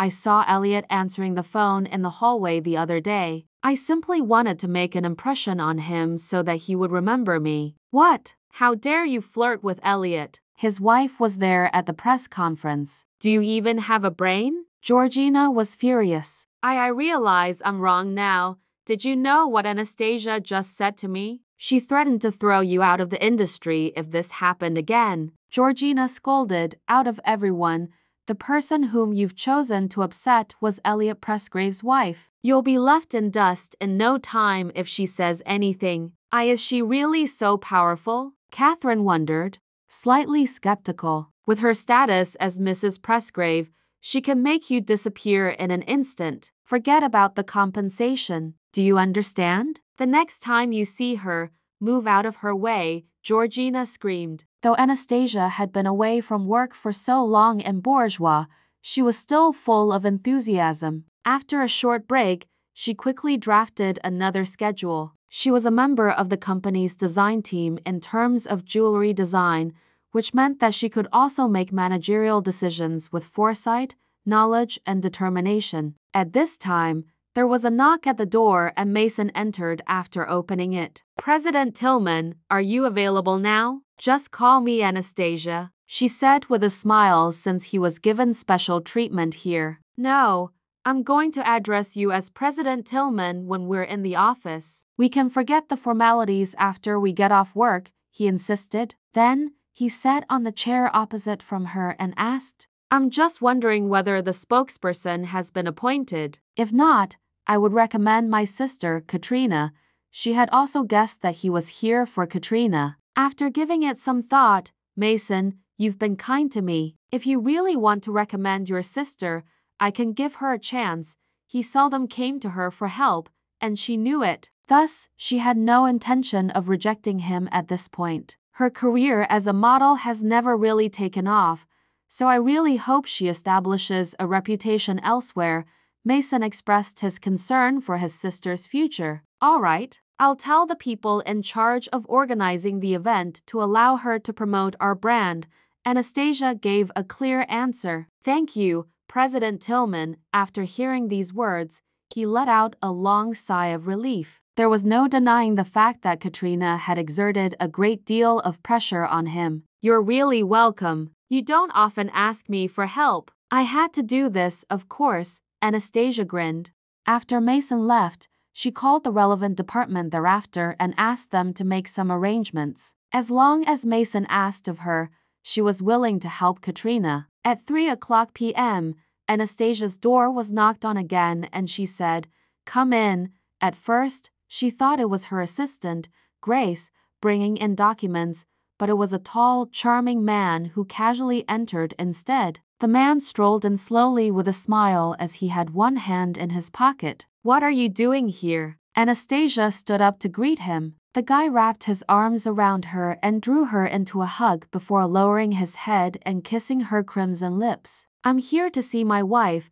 As soon as she realized that her window shutters were open, her face became flushed. The blinds are up. Chapter 681 What are you afraid of? I'm not ashamed, Elliot didn't seem to mind and he wanted everyone to see it. Anastasia simply allowed him to do what he wanted. After all, she had to admit that he was quite brazen. Are you tired? Would you like a massage from your husband? He asked in a hushed tone. I'm fine. I enjoy working, she answered as she shifted her head to look at him with eyes that sparkled with enthusiasm. Elliot was content when he saw how happy she was. Then he acknowledged, You can work for as long as you wish. Just don't exert yourself. Anastasia scrunched up her nose playfully and replied, I know, I know. Don't worry about me. He then released her and took two steps back before checking her from head to toe. She felt a little bashful when he observed her in this manner because it made her feel like he was admiring a piece of art. What are you looking at? This made him grin before he said,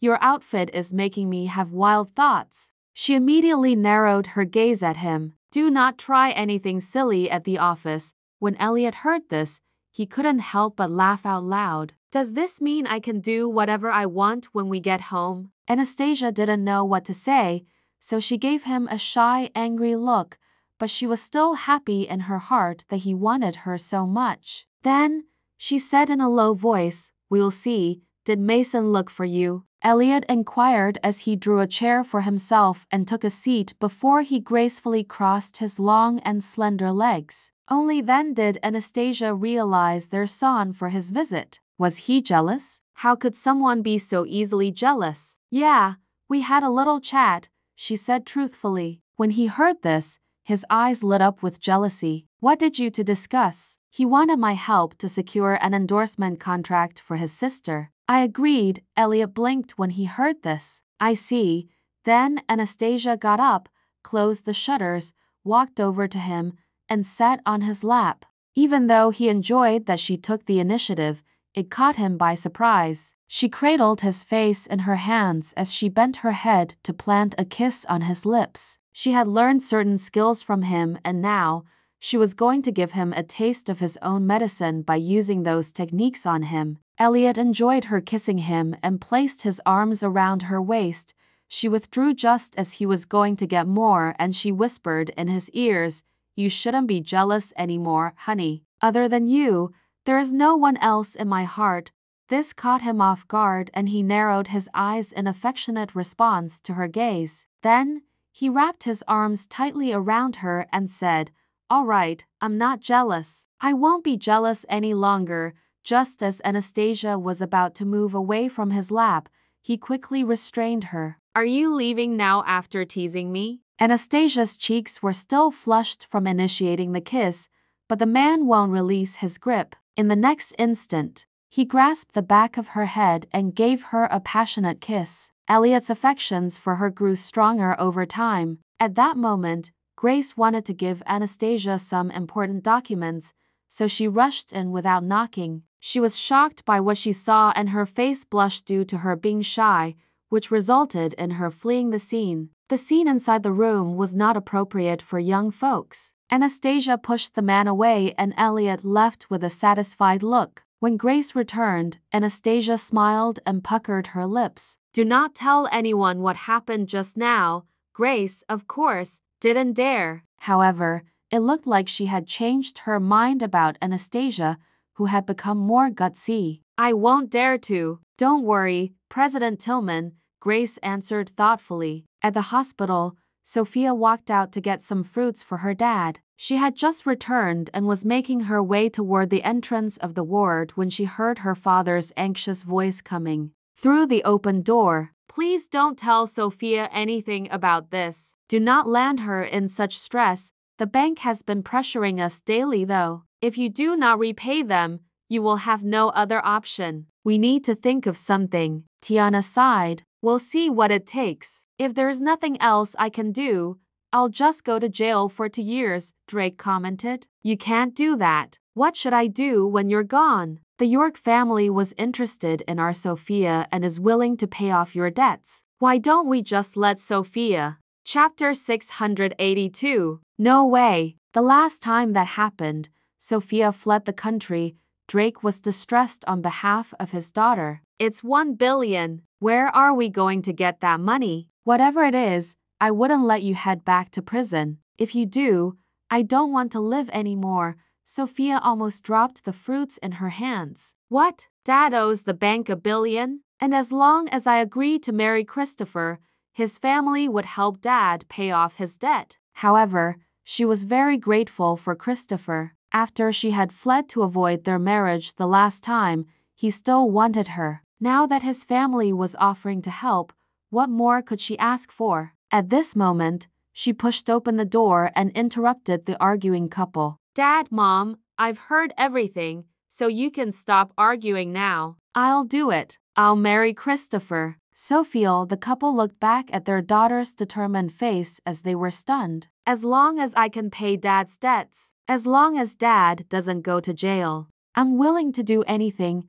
Sophia exclaimed with reddened eyes. She had been unfilial as she didn't know that her family was facing such a big crisis. Sophia, there's no rush, Drake was about to assure her when he was interrupted. Dad, it's okay. I'm willing to marry Christopher. I'm okay, Sophia insisted as she sniffed. After saying that, she put the fruits down on the table before turning to leave the ward. Outside, she found Christopher's number and dialed it. A gruff male voice sounded. Hello, who is this? I'm Sophia Goodwin. Sophia, is this really you? My dream girl has finally decided to reach out to me. The voice on the other end was ecstatic. I'm prepared to marry you, but can you really help my father with his debts? As long as you marry me, your father will be like my own father. I will help him pay off his debt immediately, Christopher promised. Okay then. Then, let's find a time to meet. That's up to you. I am abroad now.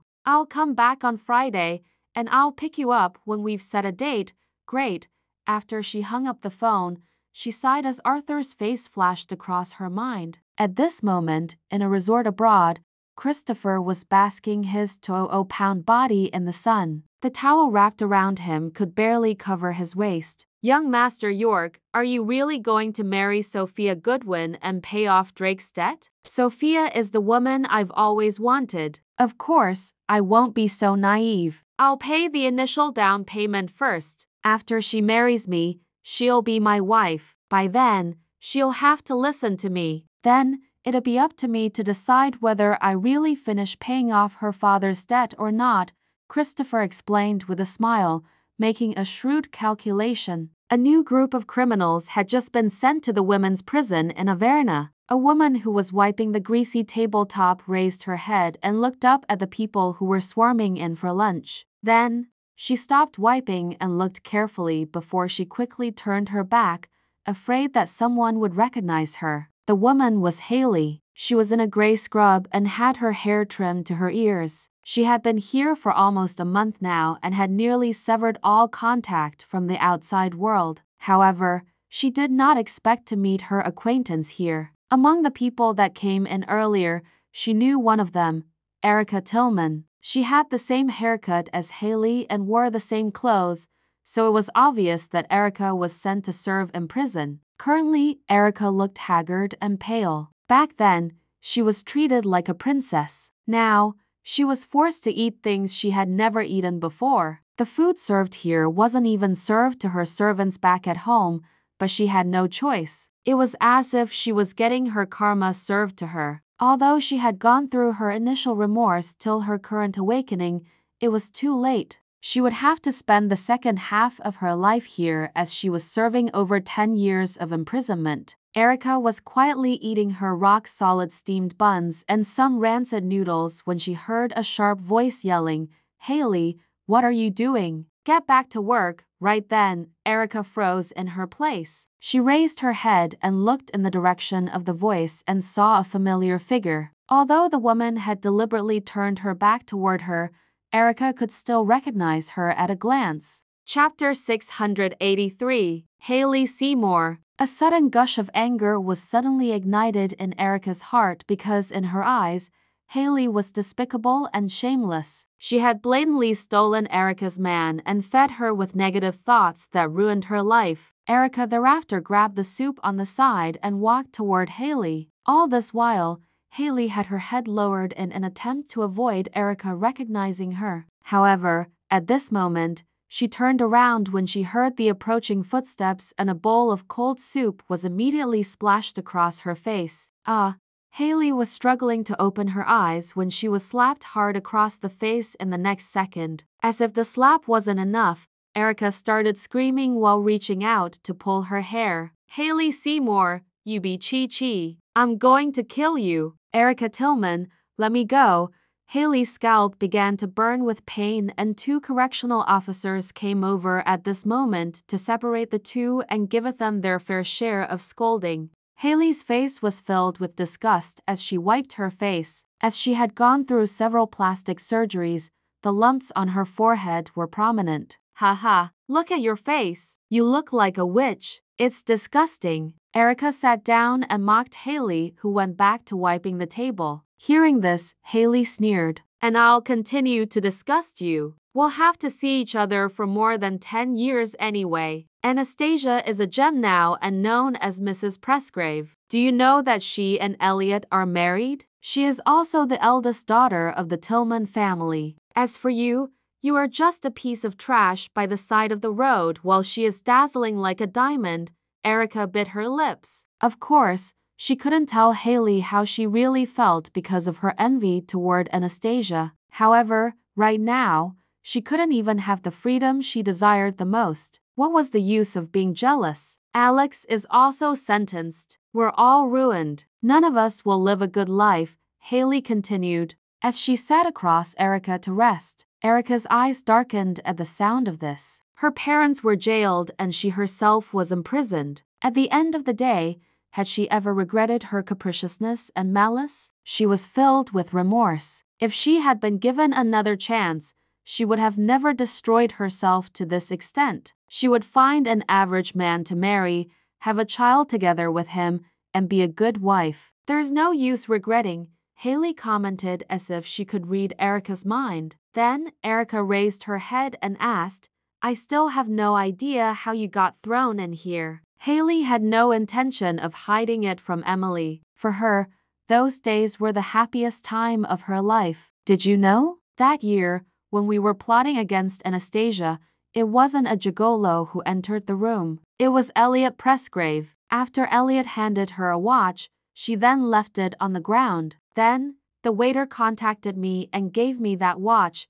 Haley clearly remembered the day when Elliot came to her store to look for her. He was dignified and exuded a masculine charm that made her fall in love with him at first sight. Erica's eyes widened as she prodded, and then, five years later, the business was so bad in my store that I had to sell the watch. A week later, Elliot returned to my store and asked whether I was the woman in the room that night. I said yes, a shameless Haley answered. After that, Erica scolded, You are shameless, you would have done the same. Elliot said he was going to make amends. He gave me a big villa, a sports car, a black card with no limits, and a few servants. At that time, I was beautiful and happy. I could buy whatever I wanted. There would be nights where I get to dine with Elliot and go on jewelry exhibitions together. Speaking of this, Haley turned to Erica. Didn't I get you a few gifts that were worth more than half a million? At this moment, Erica finally knew how Haley became a wealthy woman overnight. It turned out that she had stolen Anastasia's identity and took advantage of the compensation. And that's how I ended up here. I did that for about seven months. I've spent 35 million of Elliot's money. In the end, I was tricked by Anastasia and I was charged with extortion then, Haley smiled bitterly and continued, People say you can't have too much of a good thing because it'll eventually bite you in the back, and because of this, she was using the rest of her life to pay for her mistakes. Chapter 684 Erica initially wanted to call out Haley for being insatiable and not knowing her boundaries. However, when Erica reflected on herself, she was also someone with blood on her hands. Instead, she said nothing for a while because she deserved to end up here. A financial summit was held in the city on Friday, and it was an event which the people of the financial industry took with seriousness. After reading the email, a woman sitting in the spacious office had a complicated look in her eyes. That woman was Lorelai Presgrave. Ever since her last meeting with Elliot, she had accepted his recommendation to work in another financial company. All this while, she had been restraining herself and waiting for the opportunity to show up. She did not dare to offend him and did not want to confront Anastasia in the open. Lorelai's father had been eyeing a project under Elliot's hands. Although her father wanted to get a hold of it, the Presgrave Group had strict rules.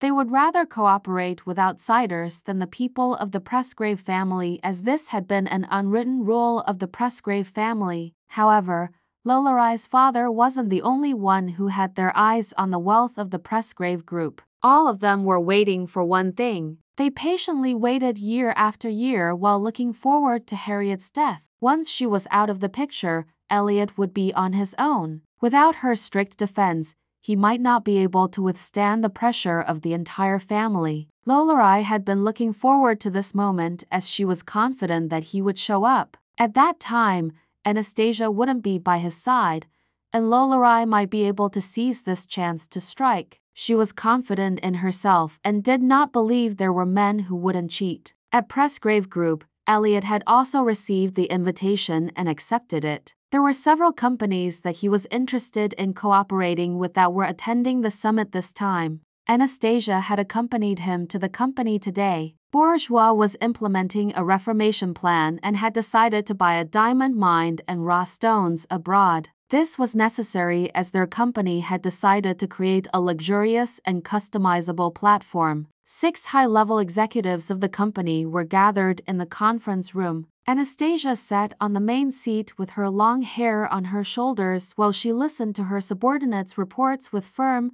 bright eyes and radiated the aura of a charismatic leader. It required a different kind of courage for one to be a leader, which was something that Anastasia had been exercising. As the Presgrave family had many extended family members, she had to shoulder the burden of being the lady boss of the family, and there would be more things that would require her to decide in the future. After the meeting, she called for Larry and carefully listened to his opinions. He was a senior executive of Bourgeois and was more experienced in this area. President Tillman, if we want Bourgeois to grow and be stronger, it is vital for us to have our own mine. Now, several big foreign brands have already begun to monopolize the stones. We will have to make a decision soon. What's the recovery rate for extraction? According to our current data, the recovery rate is within the acceptable range. However, this is something like a gamble. We would need luck to be on our side.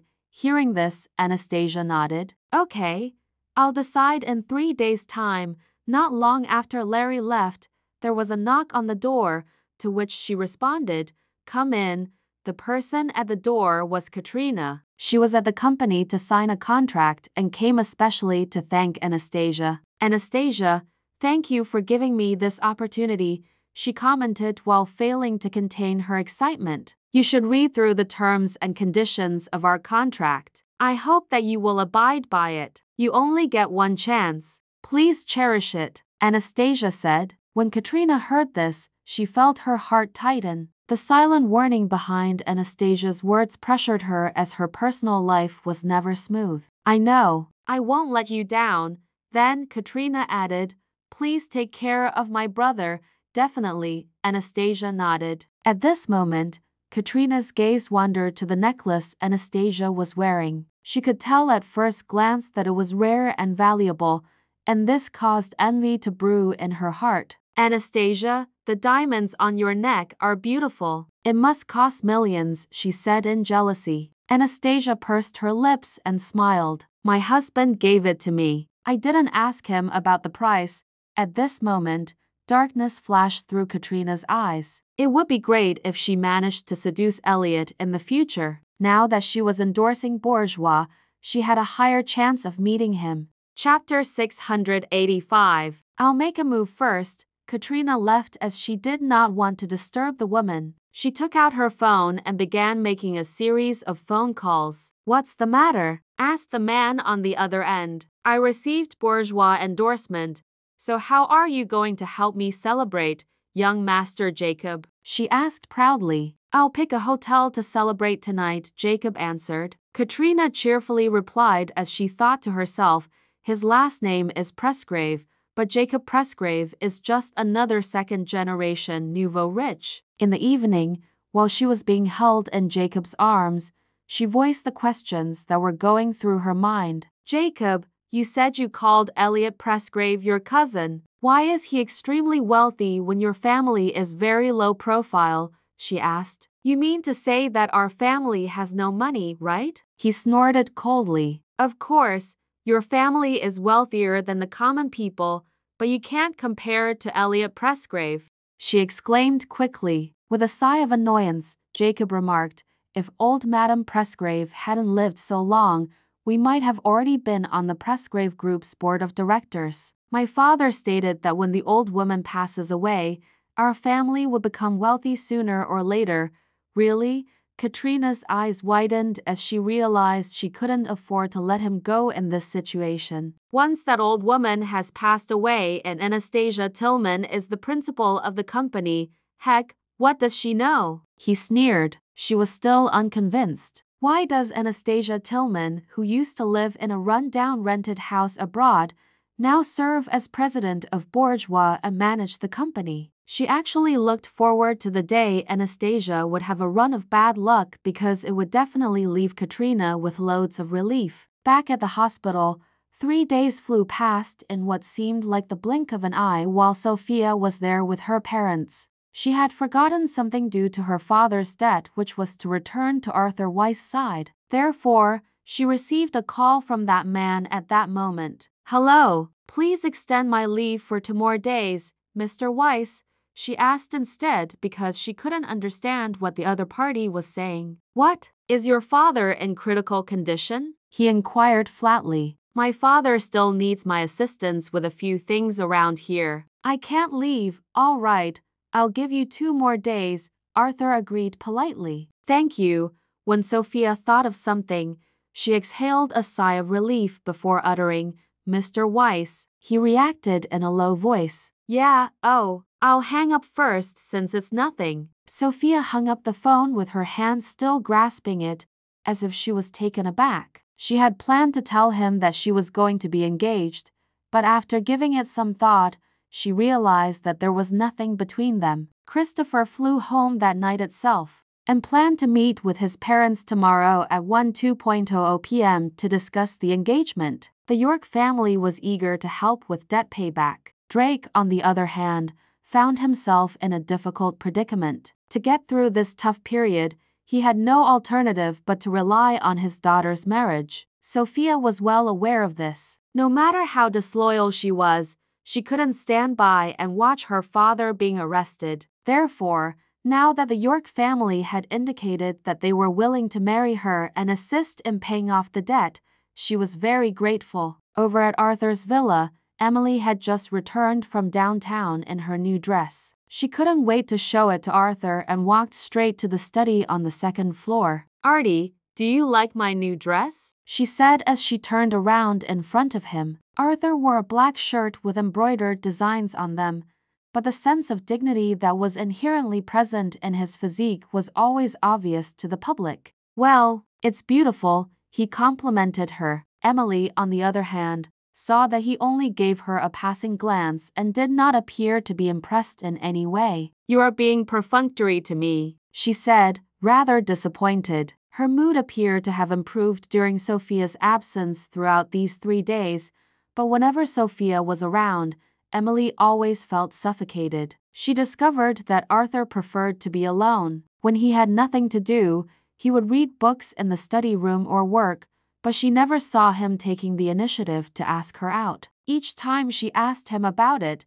he would always refuse her. Chapter 686 Artie, is there something on your mind? You can talk to me about it. Emily sat beside him and hugged his arm as she looked at him with doe eyes. No, Arthur shook his head. Then, she pursed her lips and asked, Are you thinking about Sophia? Hearing this, he raised his beautiful eyebrows and answered again, No, how could he possibly miss her? Anyway, she couldn't escape until she returned his family heirloom. At 9.30 p.m., Anastasia accompanied her son into the room and helped him take a bath before changing into his adorable cartoon pajamas. Jared's wet hair was combed to the side, revealing his handsome and delicate little face, making him look like a young prince. Jared, it's your birthday soon. Think about what you want as your present, she said. Will you give me anything I want? The little guy asked slyly. Yes, I will. She would, of course, do anything for him.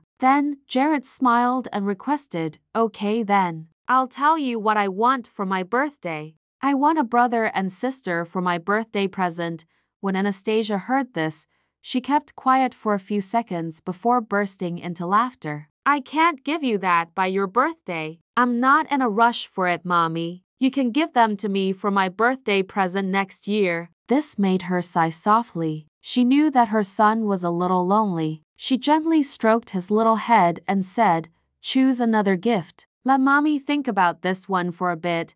The little guy immediately asked for another set of Legos, and she pulled him into a hug and kissed his head. Okay, I'll get that for you. After tucking Jared to bed, Anastasia returned to her room, picked up a briefcase from the couch, and looked through the documents. Elliot had a social gathering tonight, so she had to wait for him to return. At about 11 o'clock p.m., she heard the sound of a car, and soon, a handsome figure stepped through the door. The black suit and pants gave him a stylish yet domineering look. He looked like he had just stepped out of a magazine. Why are you still looking through documents? Elliot sat down and took the documents from her hands before continuing distressingly, It's late. Stop working. At this moment, Anastasia took a whiff of him. You reek of alcohol. How much did you drink? I didn't drink much. I'll take a shower. He did not want the smell to rub off on her. Although he didn't drink much, the room reeked with the smell of alcohol and it absorbed into his clothes. Lying in bed, Anastasia suddenly thought of her son's birthday wish earlier. Because of the pain she had experienced during childbirth,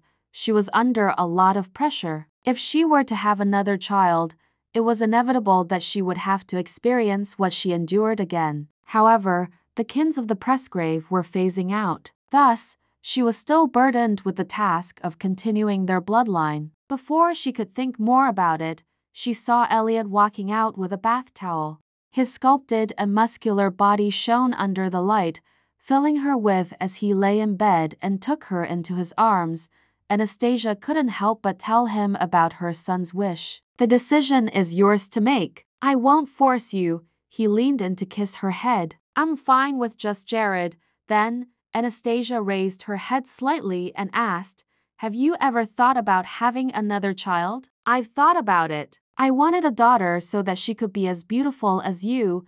Elliot curled his lips into a smile. How could he not want another child? However, he was afraid that she would have to go through the pain of childbirth again and he couldn't bear it. She was curious as well. If she were to have a daughter, would the child look like Anastasia or Elliot? Then, he stretched his hand slightly and looked over at her in surprise. Honey, why didn't you tell me? Anastasia immediately snorted. Don't you keep track of the days? How dare you ask me to tell you? Of course, I won't. In a blink of an eye, he pulled at her into his arms with force. You little devil, are you trying to starve your husband? This was a good enough reason for him to punish her, but soon, Elliot was a little annoyed. I forgot to buy them. I'll call Ray. Chapter 687 Just as Elliot was about to get up, Anastasia reached out to hug his neck. Then, we don't have to use it. He immediately understood what she meant and was taken by surprise. Then, he kissed her gently and asked in a hoarse voice, Sweetheart, are you sure? I am. She had promised Jared, so she decided to try and see if she could fulfill his wish of giving him a sister on his birthday next year. At the break of dawn, Arthur suddenly had the urge to visit Sophia's father after waking up. After all, he had nothing better to do. Deciding that he wanted it to be a surprise, he did not inform her about it. He used other means to get information about Drake's whereabouts. After all, the Goodwin's company was in his hands. To avoid Emily, Arthur left at about 10 o'clock a.m. to drive directly to the hospital since his bodyguard had bought him a gift in advance, so he drove directly to the hospital. At the hospital, Drake and the rest of his family were just at the entrance, as his driver was on the way to bring them to a restaurant for lunch. As Drake couldn't walk, he was pushed out in a wheelchair. At this moment, a pickup truck drove up toward them, and the man who stepped out was Christopher coming to pick Sophia up. At 5 feet 7 inches, he weighed nearly 200 pounds in sportswear and his body looked plumper than ever. His chin and neck were almost touching each other, but this did not stop him from liking beautiful women at all. He and Sophia were classmates from junior high until they were in university. She had always been the girl since she was young as she was beautiful. Thus, Christopher had always been dreaming of getting her. As for Sophia's parents, they hoped that she would be taken care of for the rest of her life. Although he was a little plump, he came from a wealthy family, so their daughter would be able to live a prosperous life in the future. Dad, Mom, let Uncle G take you to the restaurant first. We'll meet you there in a bit, Sophia said. All right, we'll get going then, then she followed Christopher into his car where he immediately acted like a gentleman. Sophia, today is a great day for us. Come, let's get a gift for you. Let us go eat first, she deflected. She did not want anything from him. You're going to be my wife soon, and it's only right for me to give you a gift. Then, he drove her straight to the jewelry store. Although she had repeatedly refused the offer, he still tried to force a diamond ring on her finger. Ultimately, she had no choice but to wear it on her ring finger. This made him grin so widely that his triple chin was on full display. Sophia, you're so beautiful today. Did you know how many boys were after you back in high school? Now, I can finally call you mine, he boasted. He had already made up his mind to bribe the media to report their wedding. That way, he would look even more imposing. The most beautiful girl in school was now his wife, which made it extremely wonderful. However, Sophia had no intention of being his trophy wife. She looked at the time and said, It's time for us to head over to the restaurant. Then, Christopher finally drove them toward the restaurant. In the hospital corridor, a group of young nurses was stunned by the sight of a man in a white shirt who became the focus of all the women. He was like a protagonist out of a novel while the two bodyguards made him appear cold and hostile with a domineering aura. Arthur stood at the door of the ward. He stopped outside for a few seconds before he reached out to push open the door, expecting to see Sophia's surprised face. However, the ward was empty. When a nurse passed by, he politely asked the nurse in a charming voice, Excuse me, has the patient here been discharged? It just so happened that the nurse happened to be in charge of the ward. Mr. Goodwin is not discharged yet, she hurriedly answered. He just went out for lunch. If I'm not wrong, his daughter is getting engaged today. At the sound of this, his dark pupils suddenly shrank. Engaged? Chapter 688. Yes, that is correct. According to what I've heard, they will meet the groom's family and discuss the engagement. Sir, are you related to him? No, the man kept his composure and gave a quick smile, but as soon as he walked away, his face looked gloomy. How could she not tell him she was going to get engaged? Arthur pulled out his phone and called Sophia's number right away. Sophia was in the car that Christopher was driving. When she heard her phone rang, she pulled it out and checked it. Once she saw who was calling, she immediately ended the call. Why didn't you answer? Christopher asked out of curiosity. It's nothing important. At the hospital lobby, the man couldn't believe that she had just hung up on him. When he thought about that, he gripped the phone even tighter. Find out where Drake's daughter's engagement is, Arthur ordered his bodyguard behind him. The bodyguard contacted the executive at Goodwin Corporation, who put him in touch with Drake's driver. The driver gave them the address and room number of the restaurant. Arthur then entered the car and calmly said, Drive to the restaurant. Christopher's car slowly pulled into the restaurant's parking lot during this time. When Sophia got out of the vehicle, he suddenly hugged her. This startled Sophia, so she avoided and told him, Don't do this. We do not want anyone to see us. What's the problem? After this meal, you will be my wife anyway.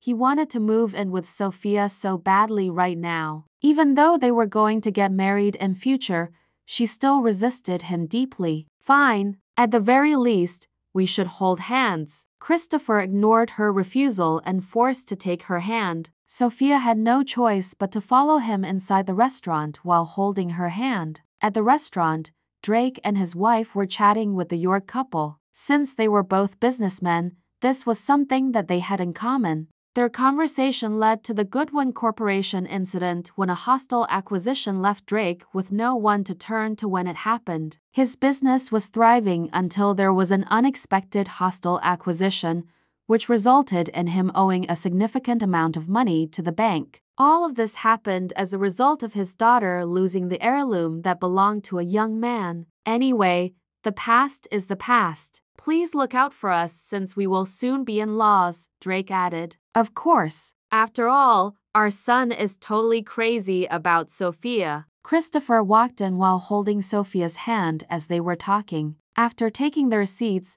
the two families began ordering food. In the meantime, Emma was observing her daughter seated next to a plump Christopher. She felt terrible for Sophia since she was unhappy with this engagement. Sophia, I'll take good care of you in the future. Once you're married to Christopher, please hurry ahead and bless our family with a grandchild. I definitely want to have a grandchild soon, Margaret thought to herself as she looked at Sophia's lovely face. My future grandchildren's genes will definitely be amazing. Why don't we skip the and get straight to the wedding planning? At this point, we are able to discuss the dowry and what should be done with it. We are generous, we have decided to give $2 million. Edmund York had already decided what he will do. We have no demands on the dowry. Everything is fine so long as Sophia is happy, Drake nodded. Edmund had an idea right away. Oh, Drake, how about we help you pay off half of your debt to make things easier and then figure out what to do about the rest? Drake and his wife looked at each other in silence. Because of how things were, they had no other choice as they no longer had any pride left to ask for more. But we also hope you can give something as your part of the wedding gift, Margaret said out of the blue. When Emma heard this, she quickly added, We'll absolutely prepare our side of the wedding gift too.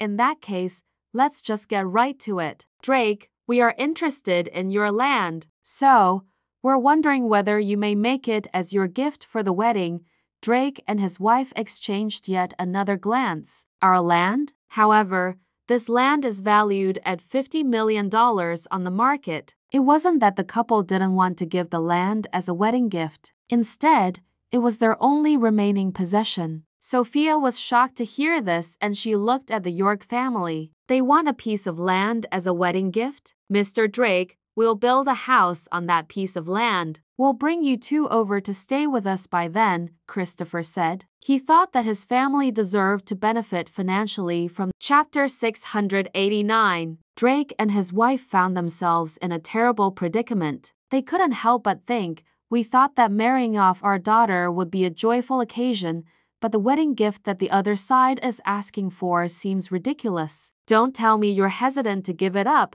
Drake, Edmund continued in his pursuit. Well, that's not really true. We'll get ready for our part of the wedding gift, but this land is under my father's name. I don't think I have much of a say in this. However, I heard that you inherited the land from him. Certainly, you can make that decision. We also want our children to have a nicer place to live once they marry. Wouldn't you agree? You will provide the land, and we will assist in the construction of a villa. In the end, it's for the benefit of our children, Mr. and Mrs. York. I'm not too choosy about where I live. Also, I have my own, so after Christopher and I get married, we can just move into my apartment, Sophia said. An apartment? That can't be right. Christopher can't live in an apartment. We have always given him the best of everything since he was a child.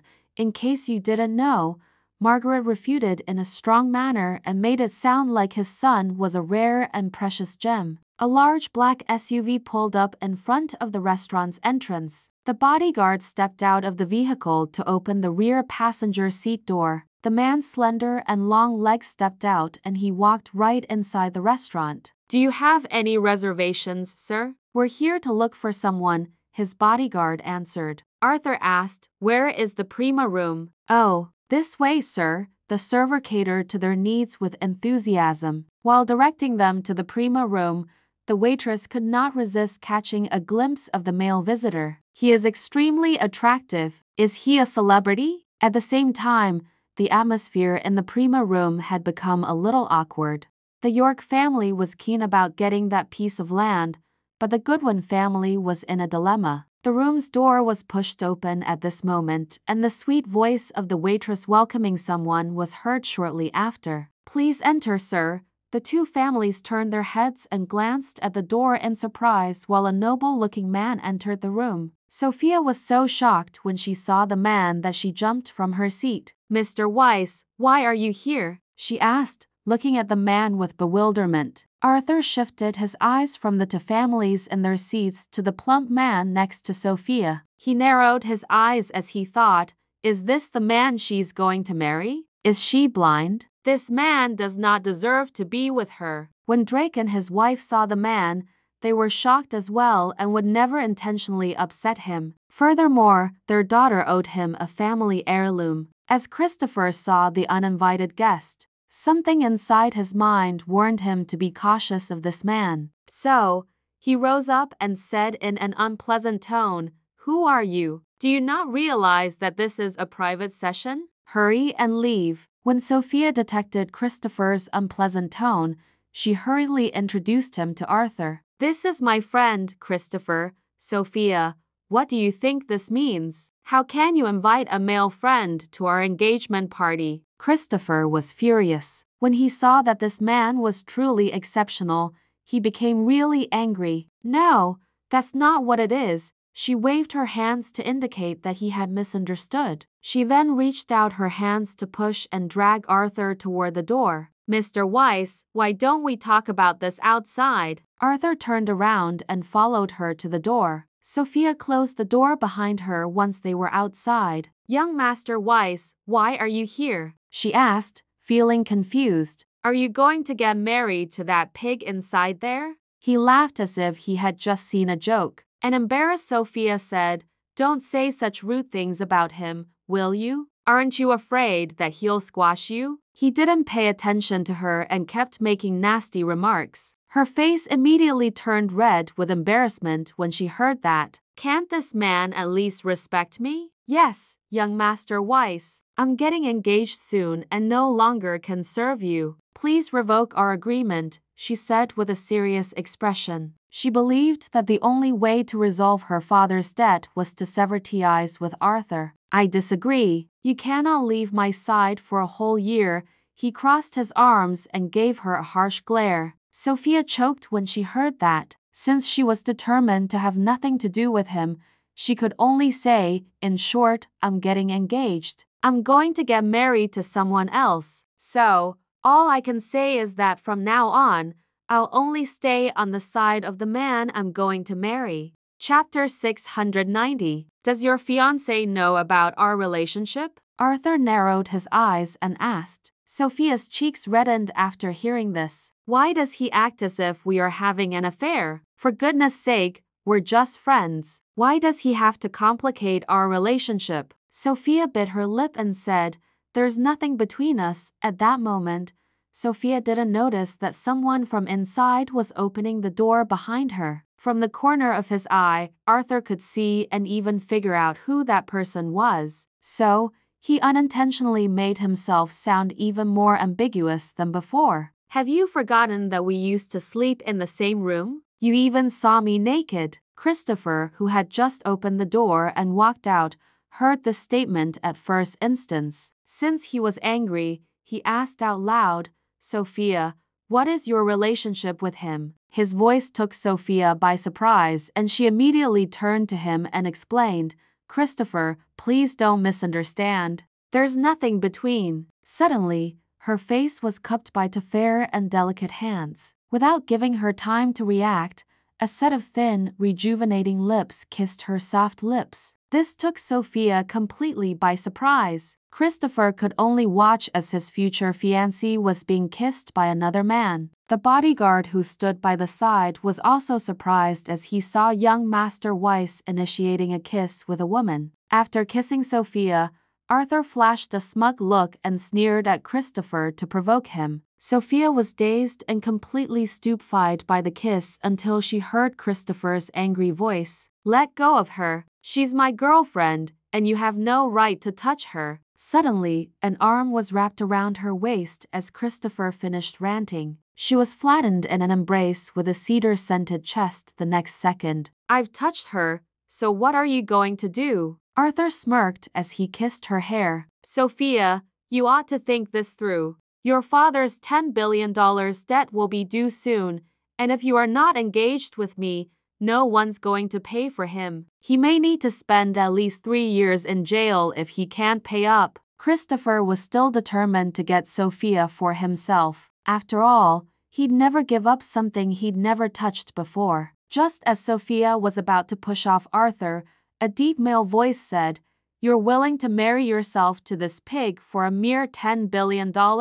How can you be such a loser? She had never heard such haughty remarks in her life. Meanwhile, Christopher became enraged when he heard that someone spoke of him as a pig. You, then, why don't you try to take out $10 billion in one go? When he watched Arthur extend out his hand, the bodyguard gave him a black wallet. Arthur withdrew a black card from his wallet and handed it to Sophia. Take it and use the money to pay off your father's debt. Return to serve me after you've settled it. When Christopher saw it, his eyes widened in amazement. He observed not one, but maybe six or seven black cards in this man's wallet, if he wasn't mistaken. With his current net worth, even he himself was ineligible to upgrade to a black card. Sophia was shocked when she looked at the black card and raised her head. She knew she couldn't accept something like that from him. So, she quickly shook her head and said,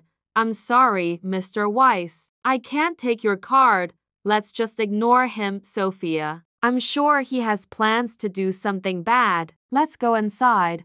Christopher then moved toward her and tried to pull her away from Arthur, but Arthur's bodyguard came ar immediately and stopped Christopher from getting close. Sophia broke free from Arthur's grip on her waist. Then she told him, Please let go of me. Thank you. When he heard that, he was a little disappointed. This woman is willing to marry someone else instead of accepting his assistance? Christopher thought it was finally his turn to give Arthur a provoking smirk as Sophia walked toward him. He was shocked by what Sophia was about to say, which came as a surprise. Looking at him, she said, Christopher, let's cancel our engagement for today. I'm not marrying you. Why? He looked at her anxiously. Sophia wasn't a fool. She knew that when the York family asked her to marry Christopher and said they would help her father pay off his debt, it was just empty promises. Out of greed, they even asked for a piece of her parents' land as a wedding gift for her. She had actually thought about it while she was inside the room and wondered whether she could get her parents to sell everything they owned to pay off the debt. She was also willing to stay with her parents in a rental home and accompany them. Moreover, she could also tell that her parents were having trouble deciding what to do about the piece of land. She knew that the York family was using paying off the debt as an excuse to pressure her parents. Chapter 691 Sophia was in her own world for a few seconds until the man's deep gaze landed on her. It was only at that moment when she regained her composure and approached him. Suddenly, she almost lost balance due to the slippery road beneath her. Ah, she yelled as she lost her balance and fell into his arms. Arthur wrapped his arms around her to prevent her from falling, but he was a second late. As Sophia hugged the man, she landed in a kneeling position in front of his legs and her face was exceptionally close to a place in which a man would regard as sensitive. She wanted to die on the spot. He lowered his head and sighed because in all his time of knowing her, this was the umpteenth time of seeing her embarrassed. Luckily for them, there was no one around them. So, he reached out and helped her to her feet, but her face was redder than a shrimp. As sorry, Arthur took her hand as his long, slender fingers gripped onto hers. It was evident that he was holding Sophia in a posture that looked like they were about to kiss. They passed the entrance and walked up the steps, which they estimated to be at a distance of 200 meters, to where the main church was. It was halfway through the climb that Sophia regretted her decision as she panted. Of all the places that she could have suggested, why does she have to suggest a church on the hill? On the contrary, the man next to her was relaxed. He wasn't panting and his face wasn't flushed either. As the wind gently blew his hair into a somewhat messy state, it made him look just as sexy. You can't climb up anymore? Arthur asked with a smile. I, I still can. Now that she was under his gaze, she bravely replied, I can even do it in one breath. Arthur continued his climb while Sophia forced herself to follow from behind as a film of cold sweat coated her forehead. Now that they were at the top of the hill, she felt that it was worth the hard work since the view from where they were was breathtaking. The ancient church resembled a quiet place with a vast history behind it. He was holding a bottle of water, which he brought from the car. Then, he walked toward her and handed the bottle to her. Drink it, when Sophia saw that the bottle was half full, she realized that he had already drunk half of it and left the rest for her. What's up? Do you have something against my saliva? Arthur read her thoughts. She shook her head and sincerely took it with a blushing face before she unscrewed the bottle cap. Who am I to slander? We've already kissed, so what am I being picky about? Both Sophia and Arthur went to the main area of the church where candles could be found for them to use to offer their prayers. Then, she took six candles and lit it before handing it to him. Follow my actions and say your prayers. They say that miracles occur if you offer your prayers here. So hopefully it will be granted. When he took it, he followed her suspiciously. Firstly, they left the bright candles at the candle holder at one side of the church before they walked to the pews and knelt down. Sophia was unaware that when she made a wish, the man beside her still had his eyes open as he observed her beautiful yet serious face. It was as if she arduously tried to make a sincere prayer. Once that was done, the corners of her lips curled up into a smile. When this happened, it caused Arthur to subconsciously follow suit, and when he saw her bright red thick lips, his heart skipped a beat. As he observed her dazzling and long eyelashes, he hurriedly closed his eyes in a comical manner so as to pretend that he was in the midst of offering his prayers. Now that it was Sophia's turn to admire him, she realized that he still had not offered his prayers. He looked even more handsome now that his eyes were closed. His facial features seemed to have been meticulously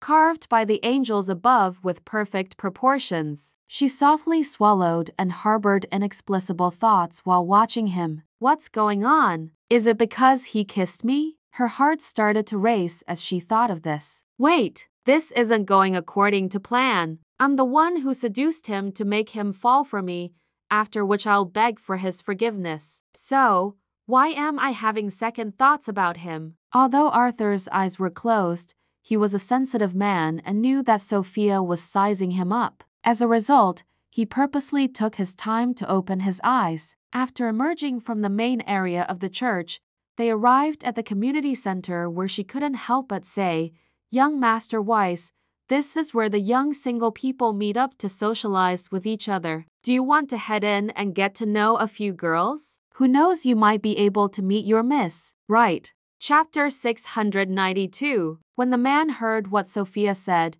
he asked in a serious tone, So, does that mean you'll do anything I tell from now on? Utudo Sophia's face suddenly turned red, but she answered him with boldness. Yes, you'll have an hour to return to my villa, he demanded. Sure, I'll be right back, she responded before she hung up the phone with relief. The debt is paid off. Mom and Dad don't have to struggle to make a living, and I can stay with him for the rest of my life. Sophia felt like she was in a trance as she gazed at the sunshine beyond the window. She was surprised that she didn't feel trapped when she thought she would be with Arthur for a long time. Instead, it made her feel happy and she even looked forward to it. After an hour, Sophia went to Arthur's villa and ran into Emily as she was having her afternoon tea. When Emily first saw her, she was so mad that she threw up her tea and called Sophia out of the blue, Hey you, come here. Sophia walked right over to her when she heard that. Can I help you in any way, Miss Jennings? Emily pushed the desserts off the table all of a sudden. It's dirty on the floor. Come here and clean it up.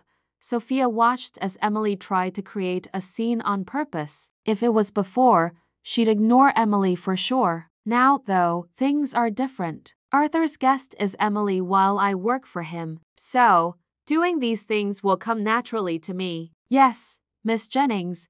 Sophia was on her knees and picked up the desserts that had fallen on the floor, but all of a sudden, Emily stomped on one of the desserts with her shoe. She took them off and said, My shoes are dirty on the bottom. Why don't you wash it after you finish cleaning up this mess? Sophia nodded and kept wiping the floor while she was on her knees. Arthur appeared at the front entrance before he slowly entered. He saw Emily in the garden, sitting cross legged on a reclining chair with a teacup in one hand, and dessert sprawled on the floor underneath her. Then, he noticed Sophia, who was kneeling down and collecting the desserts off the ground as if she were a servant. Emily was feeling smug as she watched Sophia clean up the mess she had intentionally made when she heard a cold male voice say, Stop cleaning. Sophia's hand stopped moving when she heard that voice. Then, she turned her head to look at the man who was coming toward them. She continued picking up those desserts instead of rising to her feet. She was pulled to her feet by a hand that reached out to grab it. When she heard the man's voice, it sounded a little bit mean.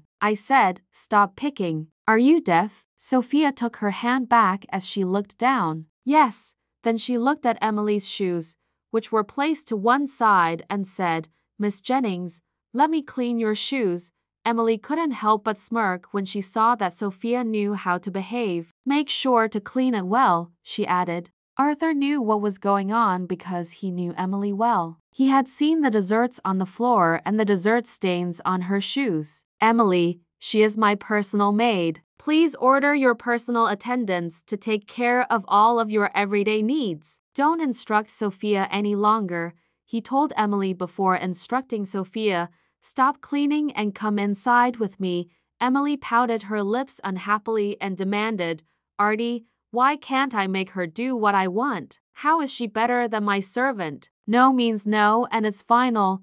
Arthur maintained his calm manner. Then, he dragged Sophia into the living room where he reminded her, moving forward, You must serve me only and no one else. Sophia's delicate cheeks flushed slightly when she heard the words serve me only because these were incredibly vague affectionate terms. As always, she did what she was told and nodded. I understand. Go back to your room and rest. Arthur gave her his instructions. He couldn't attend to her for long because he had some business to take care of. Sophia returned to her room and she received a phone call from her father thereafter. He contacted to see if it was Arthur who had helped him settle his debt. Dad, yes. I'm now working for him, so it may be a while before I can see you and Mom. Logically, I should detest him because he took over my company by force. Drake was experiencing feelings that were somewhat conflicting. Why did he take over your business, Dad? Sophia wondered. It's because I managed the business inefficiently and failed to turn a profit, Drake sighed. He recalled how ruthless Arthur had been the last time he took over the business. There was no introduction or advance notice as the man simply appeared and seized his company. Chapter 693 One of his other business partners had used the company's shares as collateral for a loan of hundred of billion dollars. For this reason, the company was sold and the sale proceeds were transmitted directly to the bank. It was later found out that Drake was also responsible for another debt, which had been taken out in his name. This was the said debt that Arthur had settled up in full. Drake was furious but also helpless. There was, however, nothing he could do to change the situation. As a result, he had little choice but to accept his fate.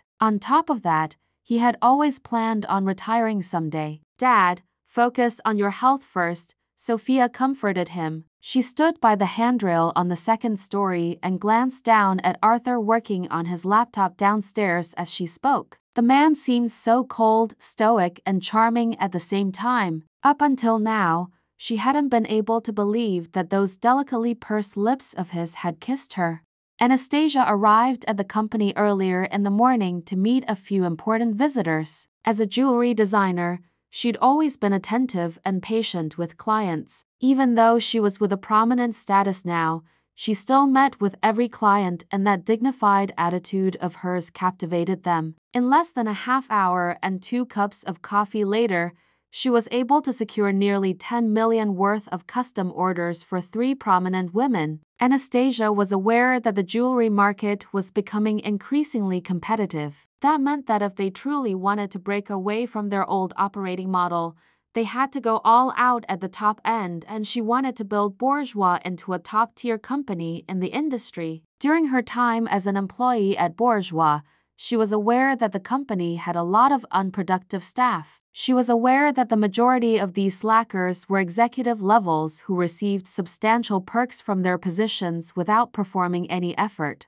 With this in mind, she made the decision to restructure the entire organization and redeployment of staff. Anastasia trusted Felicia, Larry, and Mason the most out of all the employees she knew, and they were already in the conference room at this stage. The process of personnel reformation was quickly brought to a conclusion. The vice president was held by Larry while Felicia was promoted to regional chief director. On the other hand, Mason was given an instant promotion and had the responsibility of running the general business operations of the Bourgeois Couture line as general manager. The first thing that Anastasia had to do was to give them responsibilities that were suited for their level of expertise. In the afternoon, the executives of the bourgeois organization underwent a transformation. All of the managers who believed their jobs were secure and well compensated were demoted to positions of less significance, whereas their salaries were also based on their sales performance. Meanwhile, the employees who had worked earnestly and honestly for the company were also promoted and rehired. For a moment, Sounds of complaints and rants echoed in the big office of Bourgeois while those who were rehired realized at the same time that the top management of the corporation had practiced fairness and justice. This realization motivated their strong will to devote themselves to their work. Once she was done restructuring the company, Anastasia was looking at some documents in her office. Suddenly, she heard Grace's voice coming from outside and judging from the lady's intonation, she sounded like she was anxiously stopping someone. No, you can't enter. President Tillman is working. Regardless of what, Grace still couldn't stop the burly male manager with that petite figure of hers. Coincidentally, this male manager was one of those executives who had been transferred from his original position. Feeling resigned, he pushed open the door and made his way across to Anastasia's desk. President Tillman, what's the meaning of this? I have been working in Bourgeois for eight years. I'm pretty sure I could get some credit for my efforts, but how could you demote me just like that? Observing the agitated male manager in front of her, Anastasia calmly stood up. She stared at Gordon Quigley, the male manager, with a piercing gaze and spoke, Mr. Quigley, I must remind you that bourgeois will not support idlers from now on. You can submit your resignation if you don't wish to cooperate with this transfer decision. I'm more than happy to receive your resignation letter. Anastasia, do you think you are that great? You're nothing but a mere designer who became lucky and able to climb to the top. Gordon sneered, after which he quickly added, All in all, you successfully seduced a man like Elliot just because you have a pretty face. I'm telling you, I have already been holding the position of a manager even before you joined Bourgeois. How dare you demote me now? Likewise, Anastasia didn't intend to pamper anyone in the company. Therefore, she said coldly, I dare to because I'm the boss of Bourgeois. I have the right to make any decision. Anastasia, you can transfer me to another position, but I'm not fine with a salary reduction. If you don't implement it, I'll go on a strike with all my men. Since Gordon was previously the manager of Bourgeois, he had quite a number of subordinates under him. I dare you if you have this ability. We shall see if the evidence in my hand would send you to jail first, or your strike will come first. After she finished speaking, she coldly recounted his charges. Don't think I don't know what you have been up to. I have calculated the amount of money that you have illegally transferred out all these years. It's at least more than 8 million, if not 10 million. Chapter 694 When Gordon heard Anastasia's words, the arrogance on his face instantly turned into panic. Even so, he still pretended to be calm as he said, President Tillman, you should at least provide evidence if you want to convict me for such crimes. Evidence? By the time I retrieve the evidence, that will also be the time when I'll see you in court. Are you sure you want to get things to such an ugly extent? Anastasia questioned him while crossing her arms in front of her chest. Today, she wore a white blouse and a high waist hip skirt. Dressing like this, she looked slender and mesmerizing while radiating a domineering aura at the same time. You should know that the team of lawyers under Presgrave Corporation won't have mercy toward anyone in court. Anastasia stared at Gordon coldly with her pair of beautiful orbs. When he heard her words, the arrogance he had when he first entered was immediately suppressed. At this moment, he was scared out of his wits. Therefore, he instantly clenched his hands into a fist when he heard Anastasia asking him to resign. Glaring at her angrily, he wanted to lash out. You, however, before he could get the chance to do so, the door behind him opened. Immediately after, two bodyguards in suits speedily entered. As each bodyguard stood on the left and right side of Gordon, they gave him death glares as if to remind him not to go overboard. Once again, he calmed down his rage. Then, he snorted, Fine, I'll resign. Once Gordon left, the bodyguards left Anastasia's office and guarded the entrance to her office. Later, Anastasia received an internal phone call. Reaching out, she answered the call. Hello? I heard that you fired a few of the executives. Elliot's low voice came from the other end of the phone. Well, you know that I can't let him continue to bleed bourgeois dry. I won't tolerate the existence of such a character in the company, she explained. As she spoke, there was rather a resolute vibe in her tone. I'll support whatever my wife does, but make sure to tell me first when you encounter danger next time, Elliot reminded her. He had earlier received a SOS call from Grace. According to Grace, she said there was a male manager who barged into Anastasia's office. Since Elliot was outside, he could only assign the bodyguards to protect her first. Anastasia wasn't psychologically scared of anyone unlike Elliot. Perhaps this had something to do with her toughening herself up since young. Hearing Elliot's words, she smiled and uttered, Sorry for making you worry. The family's safety always comes first in my heart.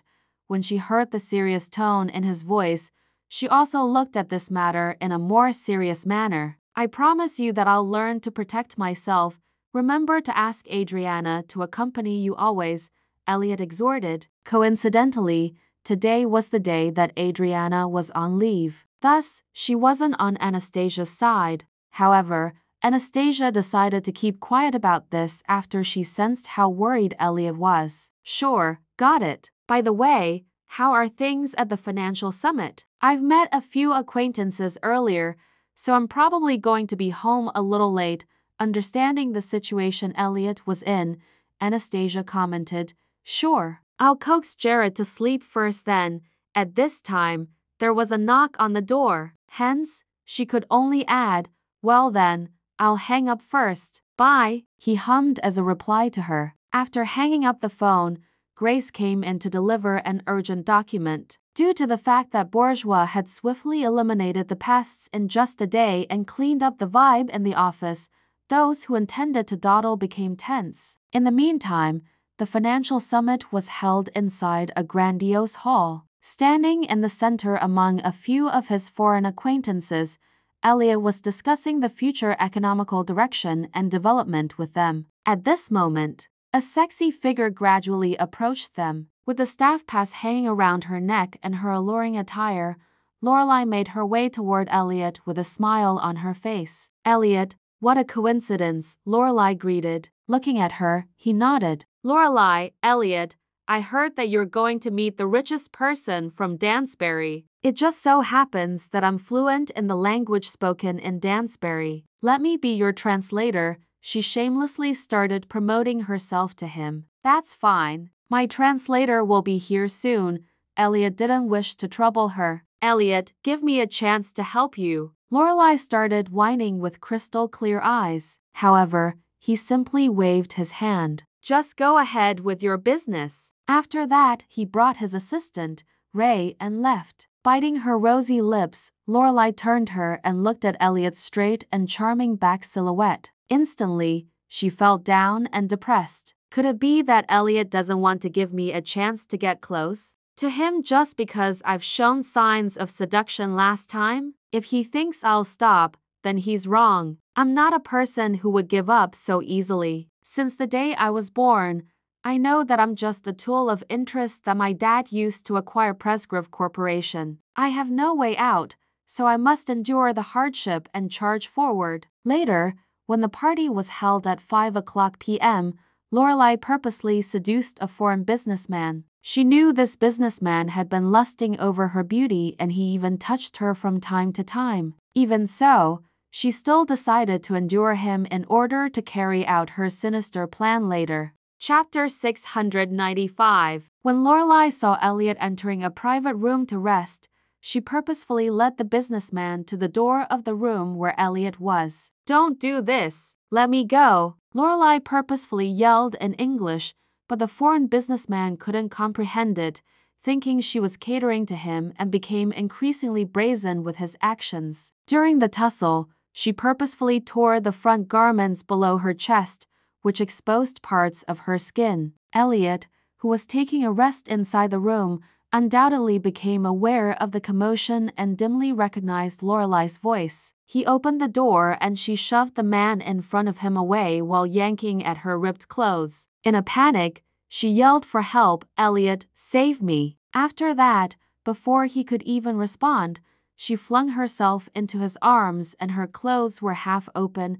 which added an air of enticement to the situation. Go away! Elliot became enraged and yelled at the businessman. The businessman seemed puzzled. Wasn't it this girl who initiated it in the first place? Why was she now portraying herself as a victim? However, this man was not interested in taking the risk. As soon as he recognized Elliot Presgrave, he frantically apologized and departed. What is happening? Elliot pulled Lorelai's hand away and helped her to sit down on the couch. She raised her head with tears in her eyes as she bit her red lips in embarrassment and looked at him with a weak gaze that drew a man's protection. Elliot, I am so thankful that I met you. Otherwise, I. She finished her word as she grasped her clothes with one hand, leaving her clothes just partially covered. I'll ask Ray to send you back, he said as he took off his suit and placed it on her. Then, your suit. Put it on first, Elliot said as he turned away from her. Thank you, Elliot, Lorelai replied, gratefully as he contacted Ray to send her home. She wore the warm suit with a cool scented feeling and her sneer gave the impression that she was up to no good. To occupy a place in Elliot's heart, one had to first shatter his impenetrable marriage to Anastasia. At 10.00 p.m., Anastasia was sitting on the couch in a burgundy nightgown and reading documents. Ever since she started overseeing the operations of Bourgeois, she had a list of never-ending documents that she needed to peruse. She now understood that Elliot had to exercise a lot of effort in order to smoothly run such a large corporation. In contrast to Elliot's company, Bourgeois had less than a thousand employees to manage whereas he was in charge of tens of thousands. While she was reading, she became aware of the approaching sound of a vehicle and after a little while, she looked up and spotted her husband standing near the elevator in the basement parking lot. At first glance, Anastasia recognized that something wasn't right when he returned today. Yes, that was his suit, which he wore when he went out. This man was now dressed in merely a white shirt and a black tie. She then asked in curiosity, Where is your suit? Elliot explained, Lorelai and I met today at the summit. A foreign businessman assaulted her and tore her clothing. So, I lent her mine. A shocked Anastasia kept her pleasant smile. Really? Is she all right? He said, It's okay. After that, he stepped over to embrace her before asking, Was it on purpose to dress like this while you wait for me? Before she could answer, the man held her cheek, kissed her red lips, and said in a hoarse voice, It's time for your husband to take a shower. Anastasia was speechless. Could she say that she was so exhausted that all she wanted to do tonight was to sleep, even though he made it look like she wanted him? However, the man had already gone to take a shower while she sat on the couch, unable to read the documents. Did Lorelai meet my husband by coincidence after she was assaulted? To what extent were her clothes ripped? The summit is a rigorous international conference. Security personnel are stationed inside the building and guests from foreign nations are advised to maintain their composure. How are they able to hurt Lorelai in any way even to the extent of tearing her clothes? After Anastasia's assessment, she concluded that Lorelai was just utilizing a seduction tactic as a woman's sixth sense was typically extremely accurate. Last time at the wedding, despite Lorelai's tremendous repression and affectionate behavior, Anastasia could tell the woman was thinking about her husband. Chapter 696 Moreover, her father had been keen to seek Elliot's assistance, which was why he allowed his beautiful daughter to be at his side as it was the easiest and most direct thing to do. Anastasia lifted the teacup off the table as her stunning eyes narrowed slightly while she needed to give Lorelai a proper warning. She would not, in any way, tolerate another woman interfering in her relationship with her husband, who was not just the father of her son but also her husband. When it came to protecting her marriage, Anastasia would never be lenient. Anyone who tried to meddle with her marriage would be held accountable for their actions. At night, she was so tired that she fell asleep in her man's arms. Her hair was messy and Elliot kissed her face, which was still red. The woman's delicate oval face in his arms appeared weary in the faint light. He couldn't help but smile since this was his accomplishment and he had every reason to be pleased with himself. Lorelai was unable to sleep in her apartment. She hung Elliot's suit on the rack in front of the bed. The Uniron clothing remained smooth and wrinkle-free. In her mind's eye, she could see him donning this outfit, which complemented his good physique. She stood up in her pajamas and had a seductive aura as she pulled the suit from the rack, held it in her arms to return to bed, after which she sniffed the man's scent on the suit and moaned softly. She longed for the day when the owner of this outfit would come and lie next to her embrace her, and fall asleep. Do you realize how much I like you, Elliot? Her eyes were welling up with tears, as though she was grieving. In the early morning, Anastasia got up to check on her son and saw that Jared was already clad in a school uniform, giving the impression that he was well prepared for his day at school. Mommy, he affectionately extended his hands for a hug. She kissed his little head and sniffed it once more. Perhaps all mothers found it comforting to smell the scent of their own child. You smell wonderful, Mommy. He sniffed her like a puppy, after which she carried him into her arms and replied, Brush your teeth and wash your face. Elliot had already dressed up. A white shirt was always his favorite outfit, and it made him relaxed whenever it was matched with a pair of suit pants. While their kid was inside the restroom to brush his teeth and wash his face, Elliot took advantage of the opportunity to embrace his wife and look at her attire for the day in a way that indicated he was examining it. He also firmly buttoned the second button on her shirt, which she had purposefully left undone when she dressed in the morning. Then, he commanded her in a low voice that sounded envious, Don't unbutton it. Can't I unbutton it even if it's hot? Anastasia chuckled. Then, lower the temperature of the air conditioner Elliot simply did not want anybody else to see her assets and added, I'll send my son to school, head to the summit, and ask Adriana to drive you to the company, okay? Go ahead, she nodded. Jared followed his father out the door as Anastasia observed their car drive away. She checked the time, produced her phone, and dialed Lorelai's number. Lorelai was also about to head out. When she heard the phone ring, she grabbed it and looked at it. Hello, Anastasia, she answered with apprehension. Lorelai, are you okay? Elliot mentioned last night that you were harassed by foreign guests, Anastasia asked out of concern. Uh, I'm alright. Thankfully, he helped me out. Lorelai hastily responded. That's what Elliot should do as long as you're alright. I'm fine. Thank you, she replied with a smile. Are you available at noon? Let's have a meal. Anastasia asked her. Sure, after all, I need to return Elliot's suit to you.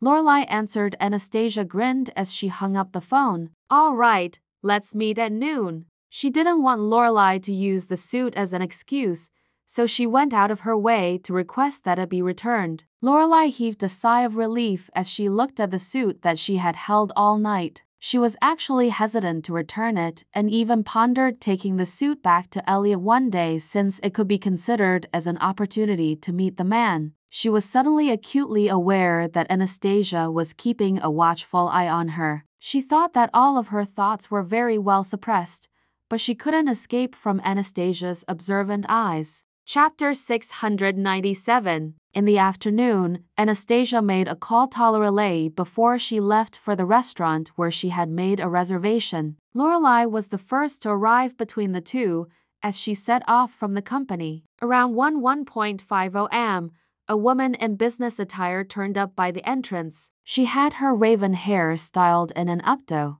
Her whole appearance set her off gracefully, giving her amorous vibes. Lorelai had heard from her father that Anastasia had taken over Bourgeois. She always thought Anastasia would be content with being a housewife, so Lorelai was surprised to see the woman become a chairwoman of a jewelry company right after marriage. It was obvious that Anastasia was not a woman who lacked motivation and only sought pleasure in her life. Having her own career turned her into a more competent woman. A woman like her was more attractive than ordinary housewives, and it was hard for men to resist her charm. Anastasia didn't even need the help from Elliot to shine. Lorelai couldn't help but feel envious of her, as Anastasia got off on the right foot with a favorable background of her husband's family. No matter how hard Lorelai tried and how determined she was for her goals, as long as her family could not provide her with a better opportunity, she would still need to work for others. On the contrary, Anastasia was managing a listed jewelry company right after marriage, which had a market value of more than 10 billion. Anastasia, Lorelai stood with a smile as Anastasia made her way to the table. Long time no see, with ease, Anastasia took a seat opposite her. I heard that you had taken over Bourgeois. You're amazing, Lorelai gave her a heartfelt compliment. You are thinking too highly of me. I am just trying to find something to pass time because I get bored at home. Elliot wants me to have fun rather than trying to make a killing.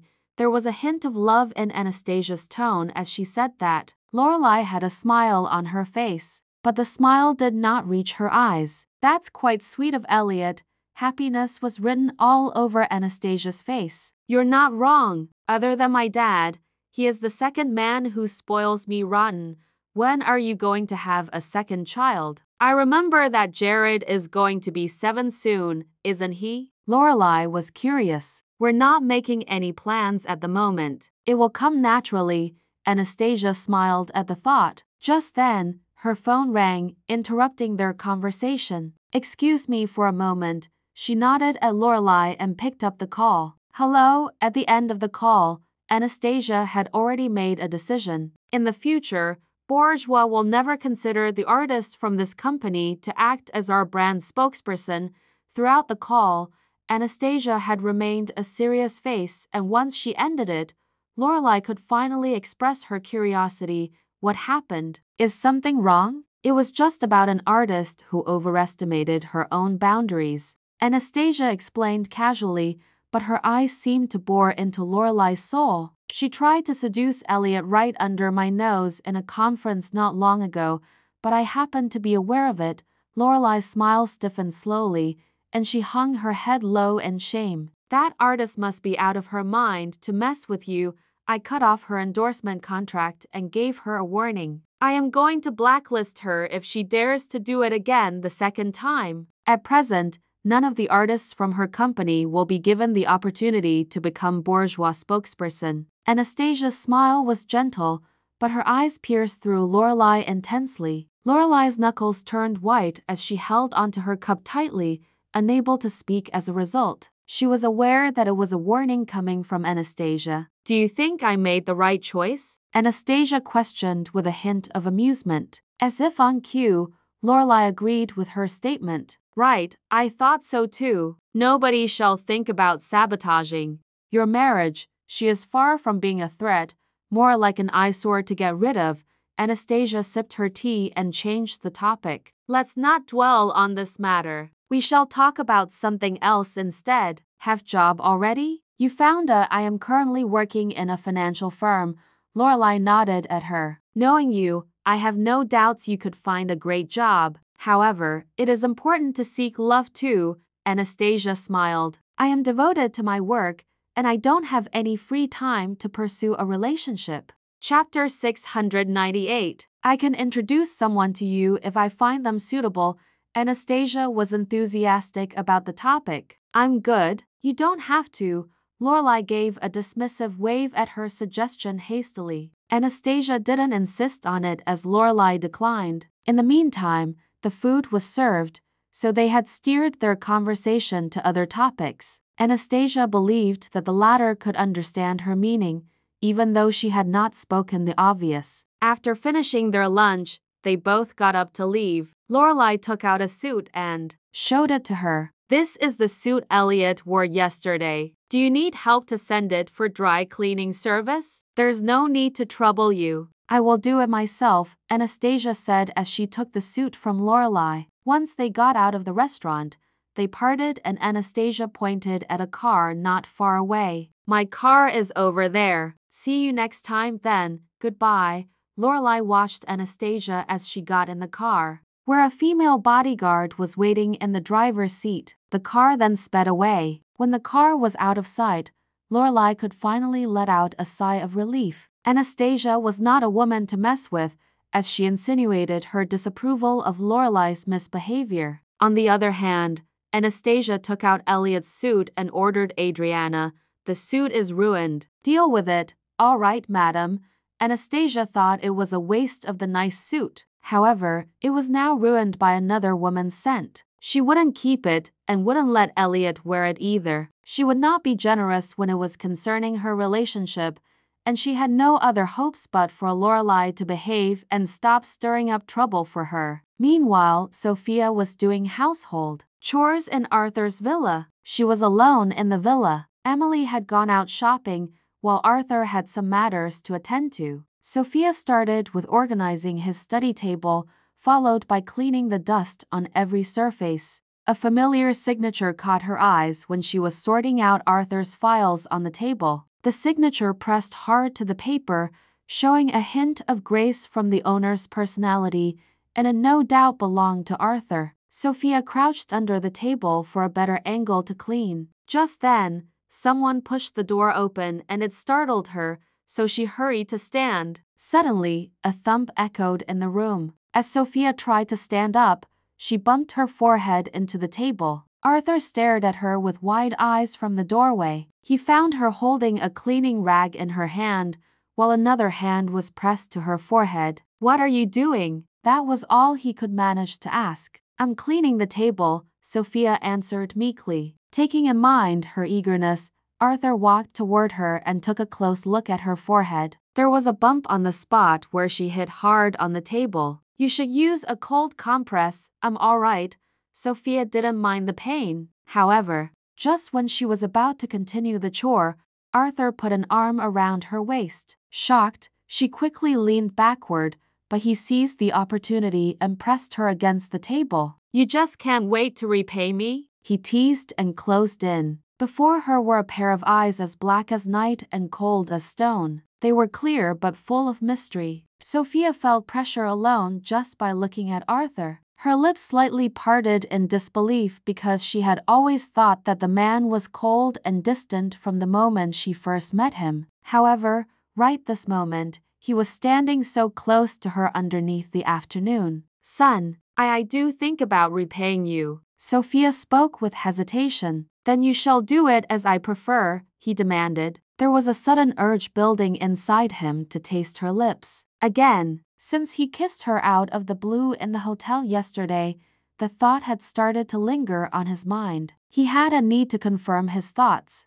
So he simply had to taste the sweetness on her supple lips. Without further hesitation, Arthur wasted no time and went in for a kiss on her lips. W what? His bold actions made Sophia's mind go blank. Did he just kiss me again? Her lean body was soft under his touch. The feeling of their bodies pressed against each other on the table sent a tremor through Arthur's body, making him feel hot and bothered. The kiss lasted for a long time, as he did it again and again to prove he was right. Passion filled the study room. With her eyes shut, Sophia responded to him eagerly. He was forceful one moment and gentle the next, and she was surprised to feel happy from his actions as if they were in love. Finally, Arthur broke the kiss and pulled himself away. It was a cue to Sophia as she took to her heels almost immediately. However, passion lingered in the study room like a reminder to everyone that they had just shared an intimate moment.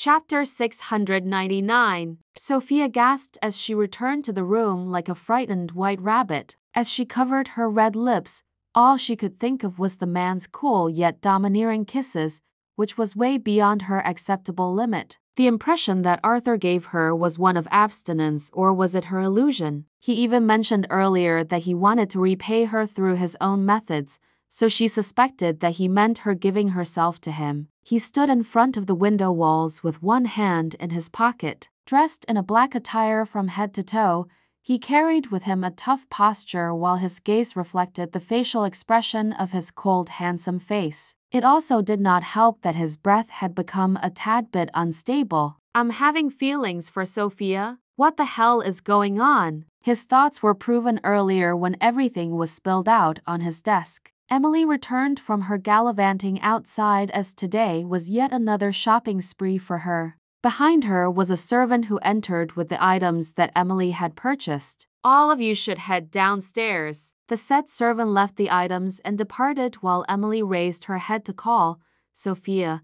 Sophia pushed open the door to make her presence known and responded from upstairs, Miss Jennings, come down and help me to tidy up, Emily instructed as she sat with crossed legs. After Sophia came downstairs, Emily asked her to remove the items from their bags to organize them. Then, Emily announced the price of each item that Sophia took out. This is a limited edition pair of high heels with a value of 180. Please be careful with it. This pair of silk pajamas cost me 90,000. Even a single thread cannot be damaged, this purse has a purchase price of 1.8 million. You won't be able to compensate me if you damage it. Sophia was speechless upon hearing Emily's words. She could never agree with Emily's concept of consumption.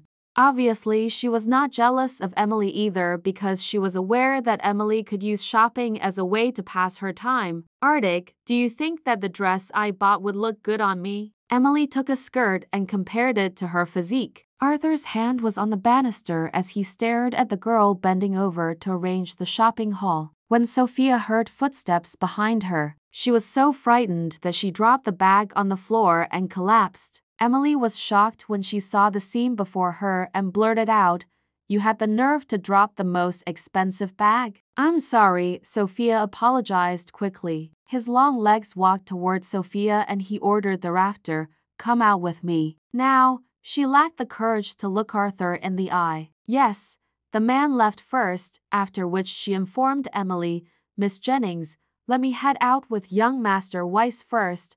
Artie, where are you going? Let me accompany you there, Emily said as she hurriedly followed. Since Arthur did not allow his bodyguard to drive the car, he slid into the driver's seat of an SUV and informed the bodyguard not to tag along. The bodyguard immediately replied, Master, we need to ensure your safety, Arthur insisted. You are not to come along. Sophia sat in the passenger seat as he drove away from the gates of the villa. Young Master Weiss, where are we going? She asked in curiosity. Let's go to a place where we can clear our minds. Clear our minds? She thought about it and asked, How about a church? He maintained his focus on the road ahead of him as he answered, That works, after punching the address on his navigation system, she couldn't help but feel restless. She couldn't ignore the fact that whatever happened between them earlier in the study was a fact. She secretly shot a gander at the man who was behind the wheel and admired his pursed-thin lips, his sexy and handsome features while such an action had caused her heart to race. It was so quiet in the vehicle that Sophia could hear the sound of her heart beating. Arthur, on the other hand, remained reticent throughout the entire journey. It was already 3.00 p.m. and would take them more than an hour to arrive at the church. By the time they arrived,